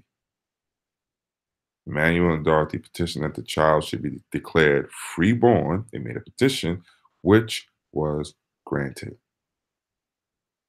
Adopting each other's kids, taking care of them, West African trait. They formed a secret society. First 11 New Amsterdam formed a secret society and took a pledge of one for all and all for one. That's a brand new Nubian quote. Ha ha. How do they do that? Here is this is real, just like you think that John Juan Rodriguez wasn't real, and I had to show you. Let's read about the incident of the murder of Jan Primero. See the secret society that I'm talking about. To those who was this is 1641. To those who were superstitiously disposed and whose anticipation of the future received the coloring from passing events, the year 1641 opened in New Amsterdam with an ill omen. The first month of the new year had not counted many days when the village was thrown into considerable excitement by intelligence that a murder had been committed behind the fort. Six of the company's slaves had perpetrated the horrid deed. A fellow slave was their victim. As there was no evidence, however, against them, torture, the common expedient of the law in such cases, was resorted to for the purpose of extorting self accusation from the prisoners. But to avoid this terrible engine, the latter confessed they had all, let me move that. Make to that moves. Go away. They had all jointly committed the act. They all confessed. The court was in a dilemma. Go away. So making sure it was there. Come on. There you go. The court was in a dilemma. Let's up here. The company could not afford, in the scarcity of laborers, to lose six of its Negroes. Just could, justice could not be defrauded. The difficulty was solved by a resolution that lots should be drawn. They had to draw straws in order to determine which of the six should be executed. The lot fell on Manu de, de who was called the Giant, and he was accordingly sentenced to be hanged. Here's the great part. Let's just go away. Get out of here. Come on, move. On the appointed day, the village of New Amsterdam poured forth its scanty population to witness the execution of the murderer. He was placed on a ladder in the fort with two strong halters around his neck. The fatal signal was given, and the unfortunate man was turned off when horrid to relate. Both the ropes broke, and the giant fell prostrate to the ground. Forthwith, the, with the inhabitants and bystanders cried aloud for pardon with great ardor, and so strong were their appeals that the Director General granted the culprit his life under a pledge, here, right, of future good behavior. That is a 100% real story. They formed a secret society. Juan Primero went against the grain. He got murdered, and they said we all did it because they know they couldn't kill all of them. And to make it even more, what the heck? Guess who the executioners were during this day and time? Executioners were Africans. So the man in the hood may have been behind this whole thing the whole time. This is an actual story from history. Africans from a secret society in New York and sticking up for each other. This is 1641. You can find that in the History of New Netherland, page 28, 228. So, manumission or half freedom. 1644, first 11 Africans in New York petitioned the company for their freedom. They were granted half freedom. This led to first 11 and their families gaining full freedom. So requested, they got something called half freedom, which we'll examine, which would eventually led to full freedom.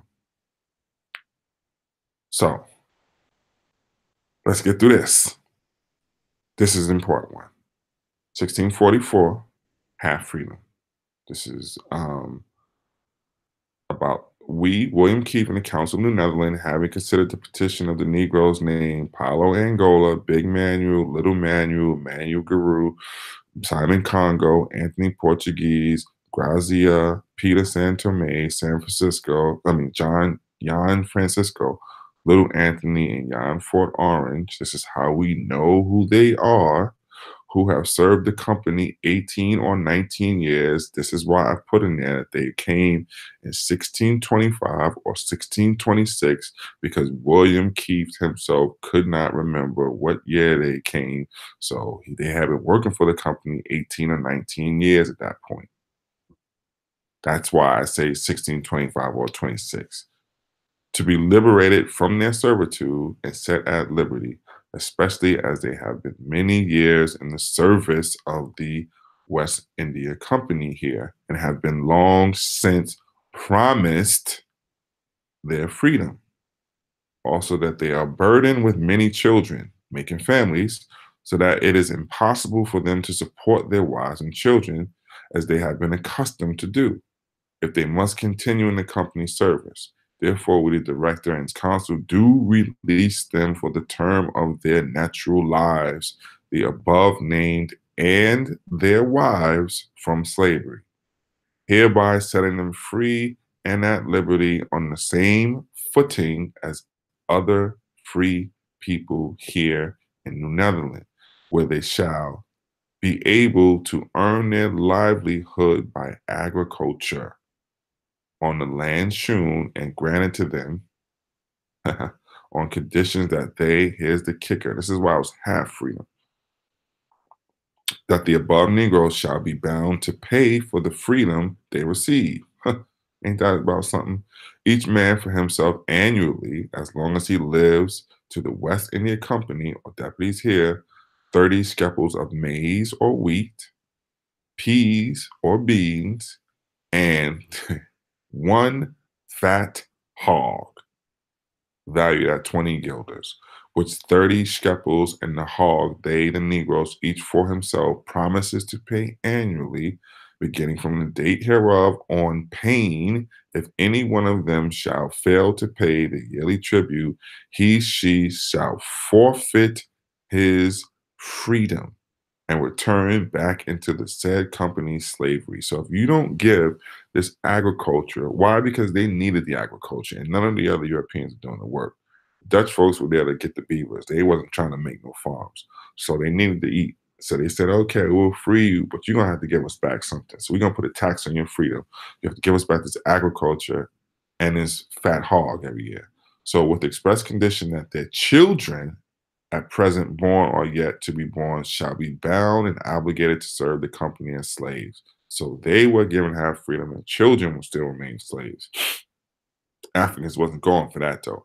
Likewise, that the above mentioned shall be obliged to serve the West India Company here by water or on land where their services are required on receiving fair wages from the company.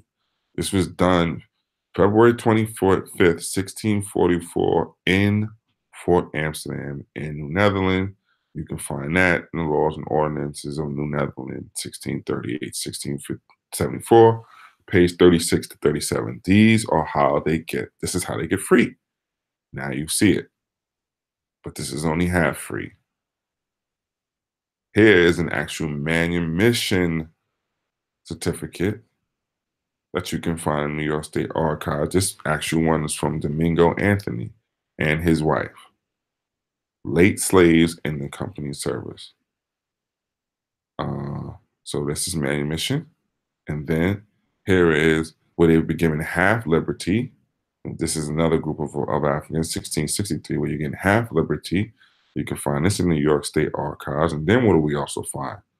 Huh. Then they get full freedom because they kept petitioning, kept fighting. We don't want to be just half free, and we want our children to be free. So 1664, that same group from the last um, image, they get their certificate, see, name is 1660, whatever, have been made fully emancipated and made free. See the steps? Manumission, get some half freedom, then we got to find a way to get our kids free, and we petition and fight for full freedom. Foundations of the Black community in New York City and in America. Now, land of the Blacks. Now that we're free, we got a family where we gonna live. Land of the Blacks. Here is an actual, actual land grant of land being awarded to Big Manuel. Remember the one that was about to be Sorry, hung? I'm not sure. Listen, um, computer, I'm on I'm actually doing some right now.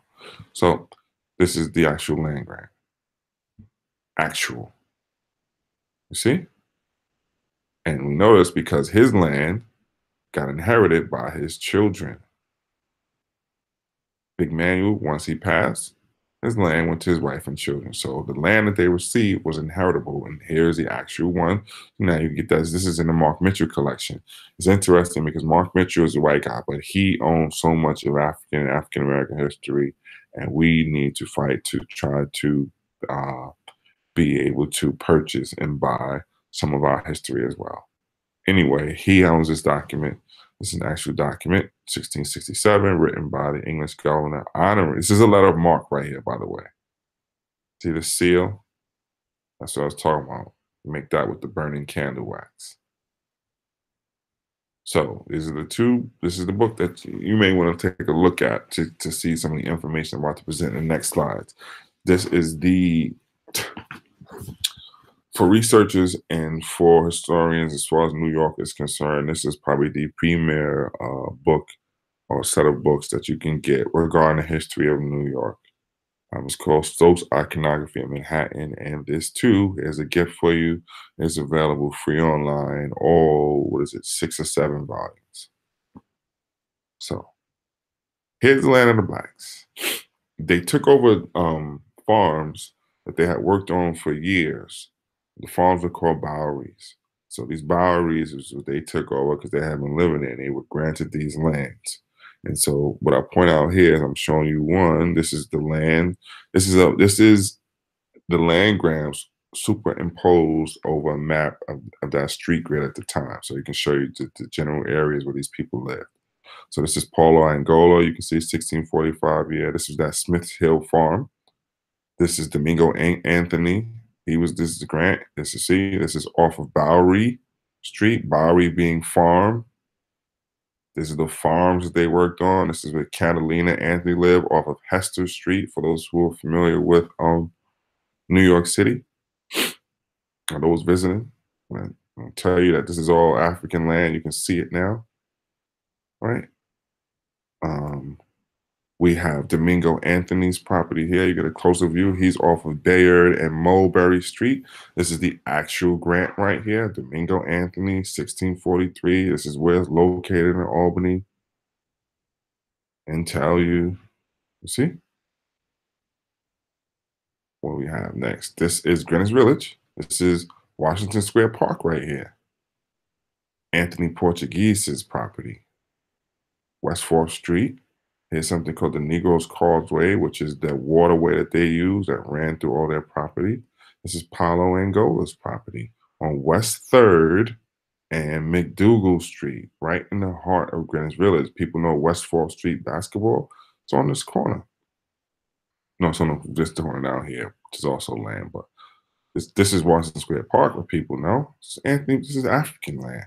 This is the land of the blacks. Why? Here's the thing right here. The farm at the Negroes Causeway, which is this, you know, King's Farm called the Negroes Farm, called the Negroes Farm, right? It says near the Bowery, commonly called and known by the name of the Negroes KG, and they spelled it wrong. This is supposed to be Causeway right here. That's this waterway. The Negroes Causeway, so called, skirted the edge of the cripple bush along Minetta Water. This is why you have Minetta Lane right here. We'll see this in a better picture because this waterway goes through there, right? And it said that part of Minetta Street between Bleecker and Minetta Lane was part of the old way to get out, or which way you can get out following the water.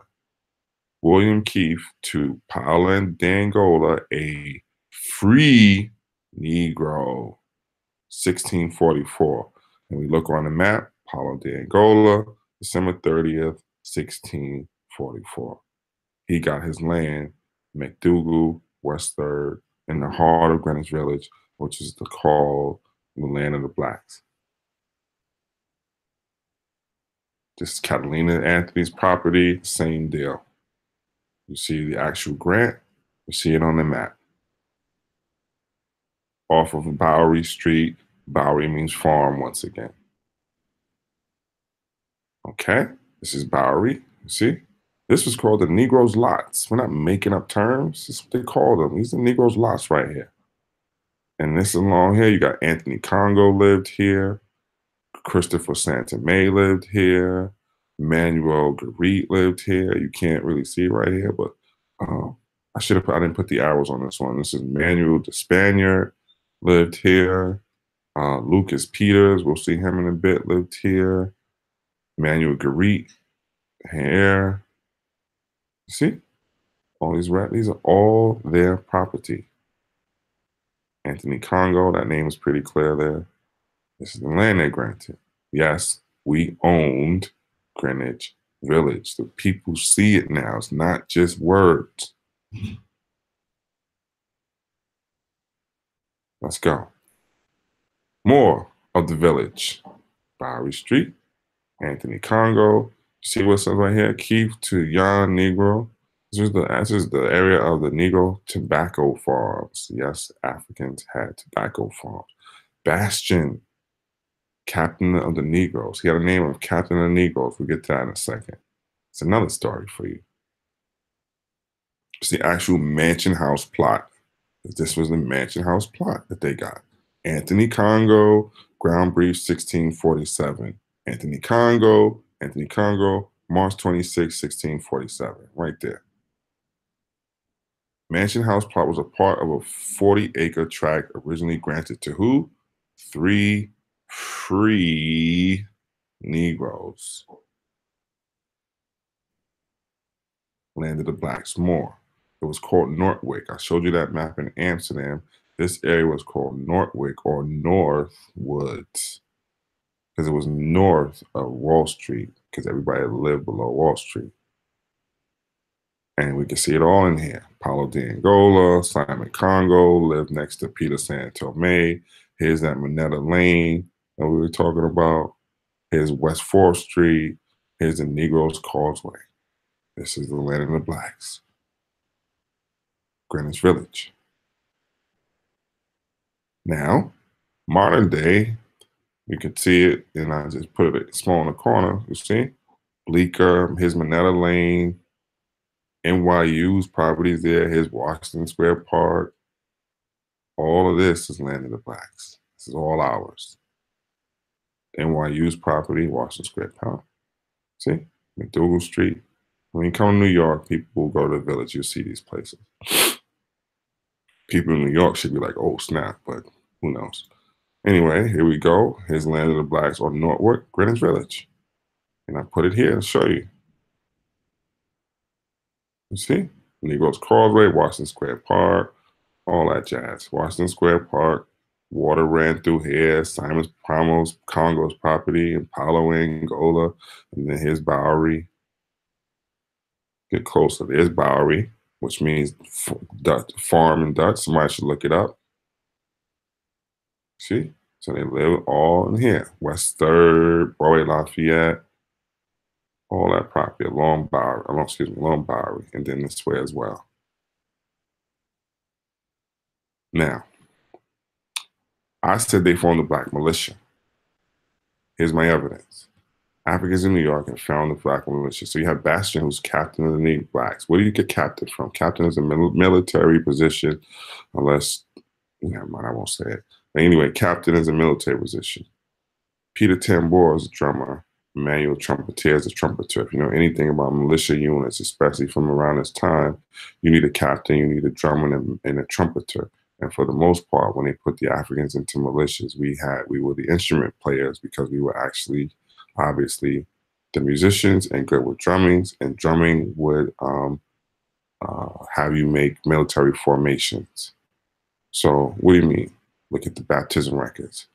Peter Van Kamp, Tambor, and it has that cross symbol. So that we go down to the legend and see what tambor is, and it tells you once this thing disappears, that tambor, that tambor means drummer. Come on, go away. You see, in the red at the bottom, drummer. Here's Emmanuel trumpeter right here, trumpeter. And then we go back to those same baptismal records. I said Captain of the Blacks, and you probably were like, yeah, you're crazy. Bastion, Captain Von de Swarten with the cross. We go to the legend, and it says Captain of the Blacks, and in parentheses, free Negroes, Captain Black Militia. This is the 1640s in New York. Free Black Militia. Explain that. More proof. We also fought in the militias with the Europeans. Bushwick and muster roll 1663, you're going to find two names amongst Europeans. You might think the Europeans are spelled wrong. The last names are Francisco de Meyer and Anton de Meyer. They're actually misprints or misreadings from Dutch documents. Those two names are Francisco Nigar, and get this, Antoine, Antoine de Meyer actually is Antoine the Moor. I'll pause this page because I know people are going to be like, that doesn't say that. Go ask any expert in this field what those misprints, and they will tell you exactly what I told you that that is Francisco Nigar and Antoine de Moor. I'll give you the people. Charles Gehring is the head and probably the leading expert in this area. Russell Shorto wrote the book Island at the Center of the World and other books on this topic. Dennis Maika is another one from the uh, what is it, the New Gotham uh, Society, right? Contact the New Amsterdam Society. Contact the Dutch Embassy if you want to, and they're going to tell you the same thing I told you. That's Francisco Nigar and Antoine Lamar on the Bushwick Muster Roll. And as you can see, they also have a drummer because drummers were important, like I told you. And they also have a captain. We had our own militia and we were part of theirs as well.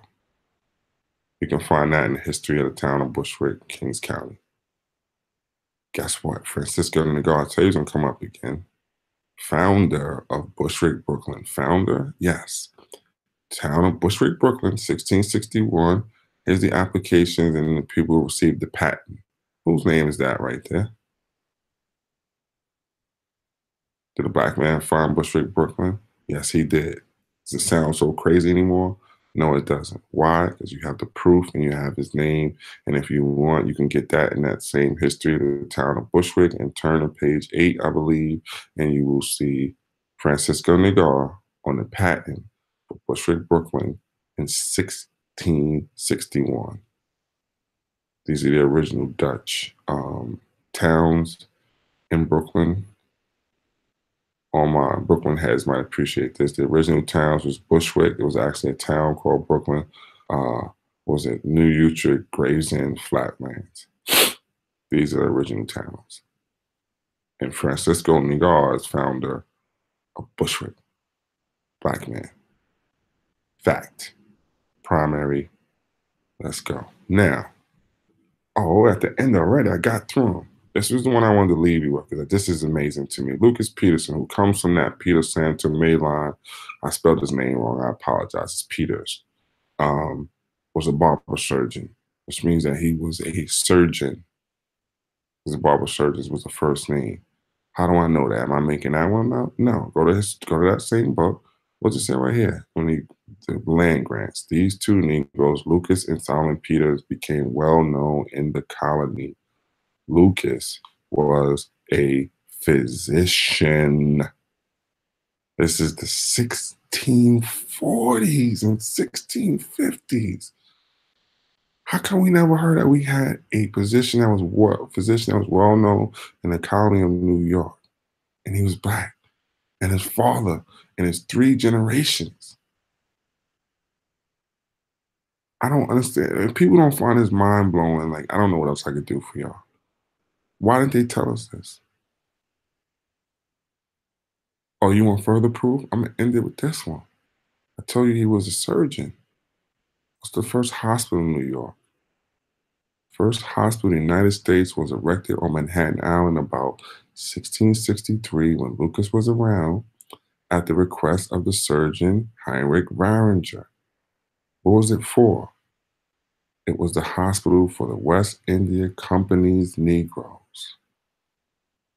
Guess who was a surgeon, more than likely, at the first hospital in the United States?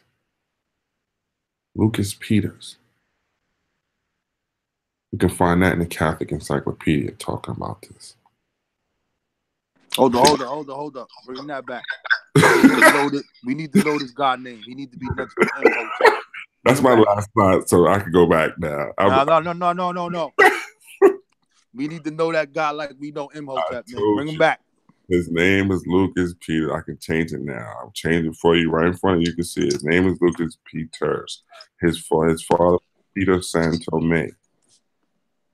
And this is his property over here on that same map. Lucas Peters. He got property.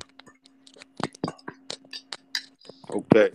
And with that said, um, that is the end of my presentation.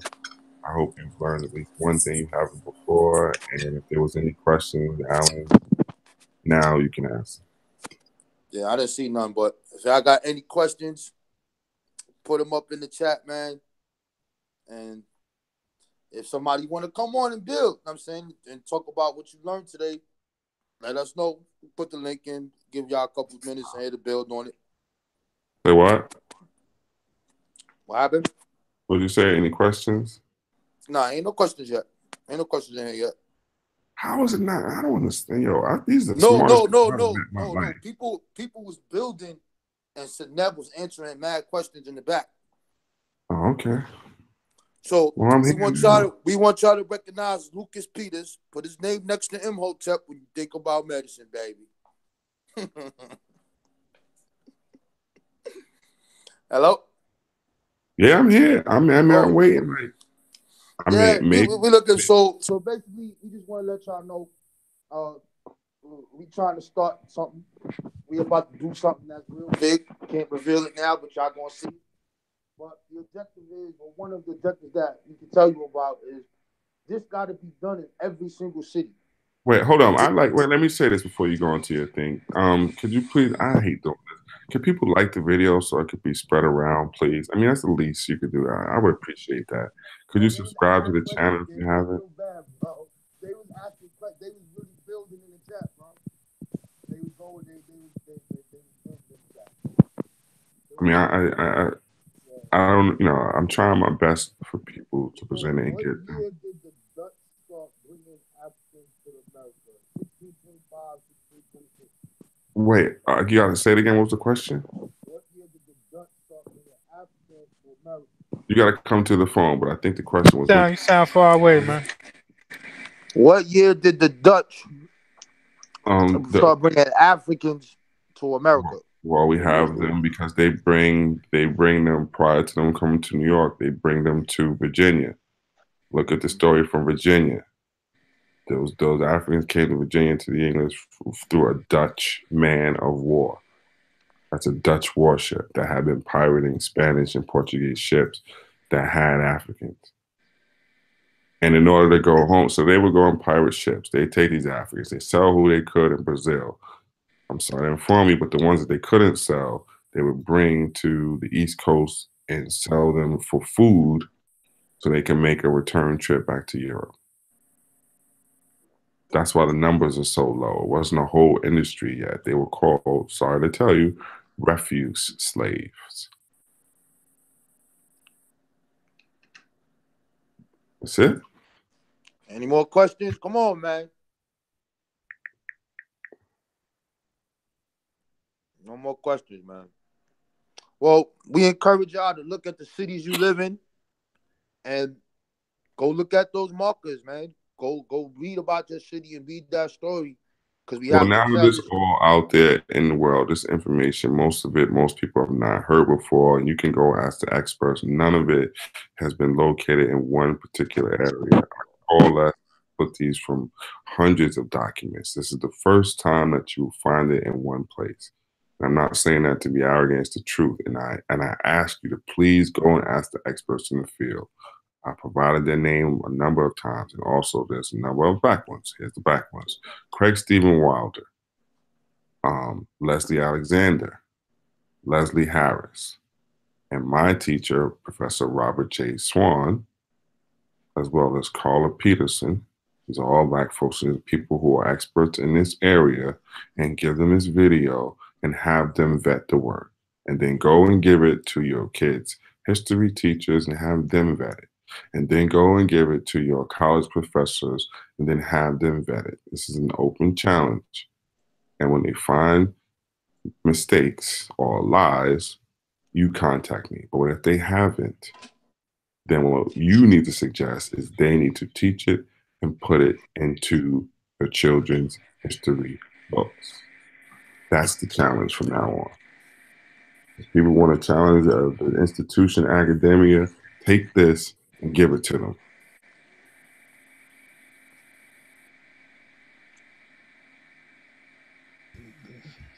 Ain't nothing else to say after We said that. we post videos more often. We, we do post videos, bro. No, no, no. I want this out there, and I, and I mean this, man. Like, take this to your teachers, uh, whoever, and have them vet it. Yeah, yeah, we can.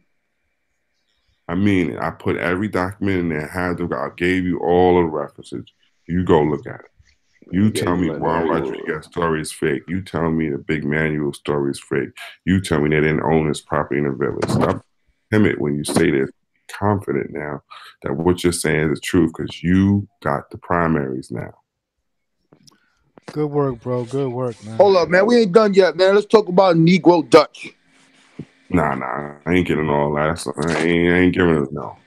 Get out man. Yes, That was a, that was a nice got a hundred university slides, lecturer bro. right there. Yeah, That was a nice lecture. slides, bro. They good. that was for told you that was for you and NBK. Y'all used to love that Juan Rodriguez story. Now Right. you got the whole thing.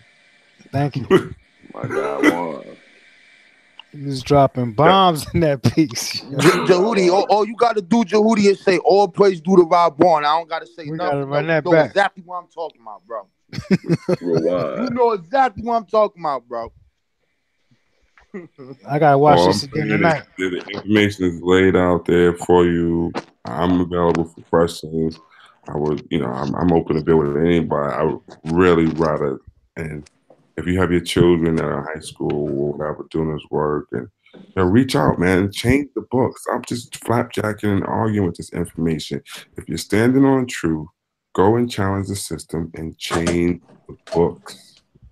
Get these stories added to the books be confident in knowing that the first resident of the major, most major city in the world was your people.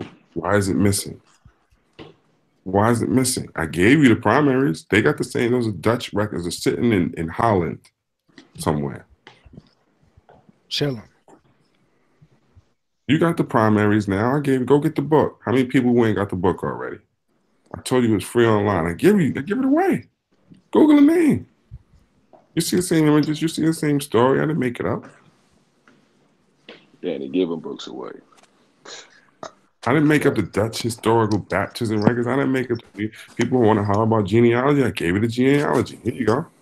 You want shit? We gave you the shits. You you wanted to question why they would go to the church. Did I not prove my case now? Why they went to church? We talked about this before too, so it shouldn't be. No, no, no, no. There's no more talking. I gave you the We just, reference. we just showed it to you. Here's the reference. Because they are they have ill designs of trying to make their children free. That's why they trying to get in church and baptized. They ain't thinking about no sweet baby Jesus. Nigga trying to get free.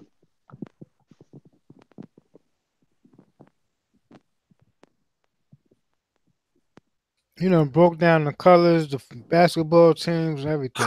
Beavers, windmills. You know, nothing, nothing else to say.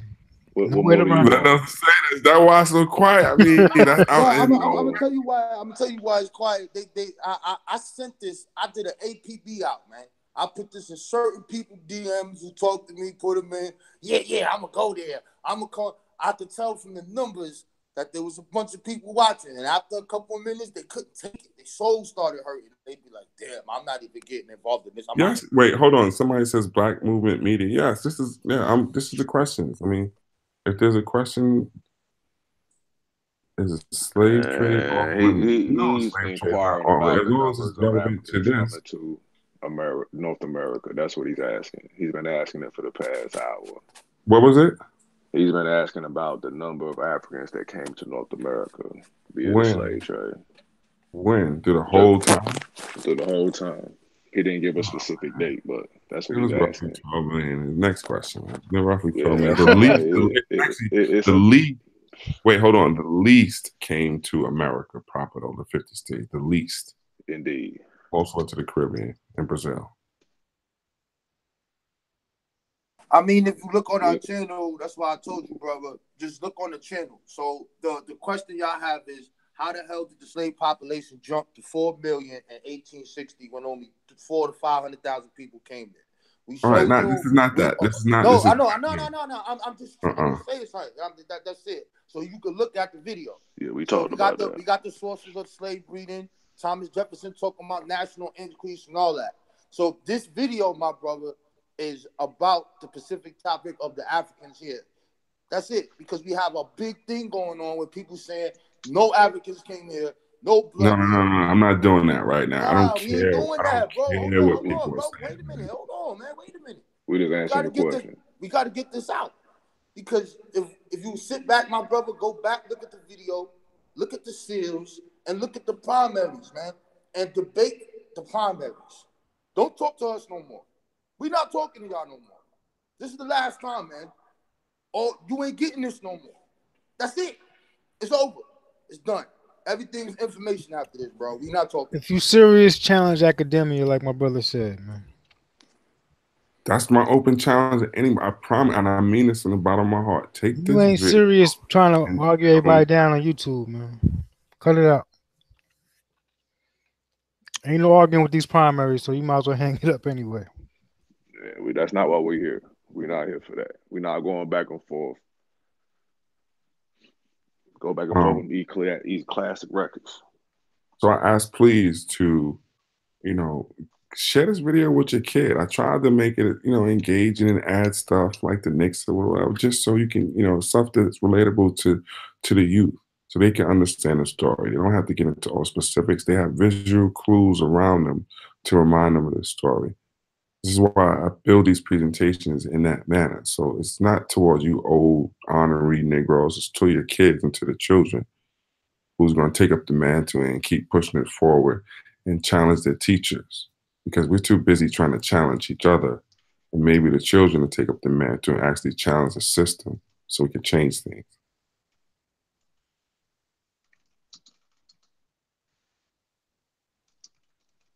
Yeah, that's the end game. You guys keep putting Africans on everybody. You see, this is the ignorance that I'm talking about. I didn't mention nothing about everybody. I'm showing you the ones that's there. Right. They don't have to be you or anything else. Wrong guys. We've already addressed what Yeah, I'm by. not saying if you was not African, this isn't for you. It's simple as that. There's no other way I can put it. If you're not African, you're not interested in the story of the African. This isn't for you. If you're we already Indian, built go and tell your story. I have no problem with that. If you're Chinese, and tell your story. You're Irish, do the same. For the Africans and the descendants of the Africans who are in Americas at this point. And what do you what do you call them black is too not you gotta you gotta be more specific than that, man. I mean, we defined black in the last bill. My name is my name. We've already described what black means, what we mean, what black means. If you Listen, listen to somebody with some, What I'm not going to do is I'm not I'm not you're I'm not that. cheapening what I've done with this nonsense. I have spent weeks putting in, in years of research. Right. After that mind blowing presentation, you coming with this nonsense. I'm not doing that, man. It's Perfect disrespectful bill, man. toward me. That's And I, and. I gotta, I gotta, I gotta. I'm sorry, I gotta draw the line somewhere, man. If there's nothing intellectually engaging, I'm not wasting my time. Man, I, right now, I'm crazy. I'm not playing this silly game. Like, why y'all here? Information. Like, I like, laid why out y'all the source. I didn't hide a thing. I showed you map and the source and the book. This. Don't believe me? Go get it. Hit rewind and get busy. Wait, I gotta read. I gotta read a book. Yeah, we got we got one walking tall. Uh, actually, three of them, but it's coming, bro. Just keep your eyes open, man. It's coming, man. Everything in there, I intentionally put the primary source for it. What else do you want? Yeah, man, we getting love, man. We just, uh, if, it's not a good question, we ain't going to. Yeah, Well, I'm looking. not- I'm looking in the chat right now. I'm trying to see if there any. You know what I mean? Yeah, yeah, let me know. honest There you go. questions in there. Appreciate everyone for coming through, checking out the show. Like, share, and subscribe. Yeah, yeah, seriously, please. What we watch, leave comments, leave questions.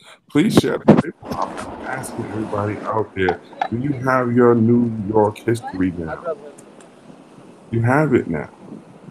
And then we will do other places, but I had to start with New York because that's where I'm from, darn it. And the stories there are amazing and they've been lost to history. That's right, Snap. Man, what Danny say a long time I don't ago. care what he said. And I I'm gonna tell you, got- I, I'm gonna tell It you this wasn't New York blacks that made Harlem Harlem. No, no, no. I think Black people Peace think coming now, now this guy Black Peace think I'm angry. I'm not Northern angry. I'm just Carolina. saying. I appreciate y'all. I appreciate anybody Yo, listening. to yo, yo, check it out, Snap. Real Listen, talk. I'm gonna tell you, I'm tell you this. I'm gonna tell you this one more time, Snap. I'm gonna put it in the chat again. I'm gonna put it in the chat one more No, time so no, you can no. read We it out. live now, so we gonna have to deal with this right now. No, I put hang it in the live chat. Nah, Yo, nah. We gonna deal with Brother this True right now. Story Listen, has already said that it was the people that, from the that South, that's cool, but now you got to deal with just like in uncle- Kemet. All right, all right. The people don't want to hear this. Okay. No, don't cut this off yet. Don't cut it off yet. No, I'm don't Every do leaving. that. time, Shots fired. time, Man, every time I wanna go Sit and- sit there. weak, it took the South Get me a little come and fix taste. just like in Kemet. Great All right. Yeah, don't talk to me presentation, brother. Damn. li- li- Listen, Snap, Snap, Snap. Yo, yo, listen, I'm about to stop the broadcast. we No, can do no, this. Yeah, yeah. stop the broadcast, man. We having fun, man. We- This is what so we know that we not crazy. You, like, Alan, you're gonna read yeah. all this is gonna be on the end of the video. We got to cut that, cut this off right Okay. here. Yeah. gotta cut this part right, off. all right. Peace, peace, peace. So, well, let me just say this. Let me give my little closing here. I really do appreciate everybody taking this couple of hours um, to watch. I do hope you at least learn one thing you did not know before. And if you do find this information factual, put it forward and stand on it. Don't be scared to hold challenge on, hold on, the hold on, system hold on, hold now on. that you have the facts. We got a good question. Did the What's the um, question? no, it disappeared. I got it. It said when the British took over in 1664, did they acknowledge the free Negroes? Ah, that great question. So let me go back real. qu- I don't want to re show my screen, but yes, that's why I showed that uh, certificate from um, Richard Nicolls to Big Manuel. So they honored the grants that they had, but the problem was the Royal Africa Company was putting a lot of pressure on people, so a lot of the rights had started getting taken away. And so they began to move from that area to um, tap in into uh, West New York. that area. They moved to parts of New Jersey and Hackensack. We the God. Hey, bro, why did they call it the land of the blacks? Because there was black people there. I mean, it's a great question, but I'm not trying to be funny. But that's why it was called the Negro Farms. It was called the Negro Lots. The Dutch part of the area was called Noordwijk, like I mentioned, and and um, but on the documents, like I showed you, the original grants, they referred to it the Negro Lot, Negro Farms, and the Land of the Blacks. The river right there was called the Negroes Causeway.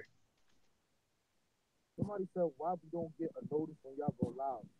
I don't know, brother. Maybe Yeah, if you want to notice when we go live, hit that bell beside the subscribe block. I, I guess you say you hit the bell. You got, I don't Hit know. that when we go bell, live, you'll get don't get it. notifications. Maybe we've been sabotaged. And again, I'm not doing that with these guys. Never mind. They called them Negroes or colored, not Africans. Actually, they did not call them colored. We called ourselves colored. They did call them Negroes, and they did not have to call them Africans because I went through a point of showing you their names were Angola, Congo, with that already. San Tome, and then I specifically showed you where Angola, Congo, and San Tome are. They did not need to call them people Africans, where Angola, San Tome, and Congo are in Africa. Is that understood? Uh, we might wanna- Let's do it. After, Africa. let's do it after show hangout, man. We were messing up the first Uh, These crazy All right, yeah, we can cut this. Yeah. All right, cool. So thanks once again. Please like and share this video and um, watch it with your kids. And um, like I said, I hope you learn one thing you didn't know before.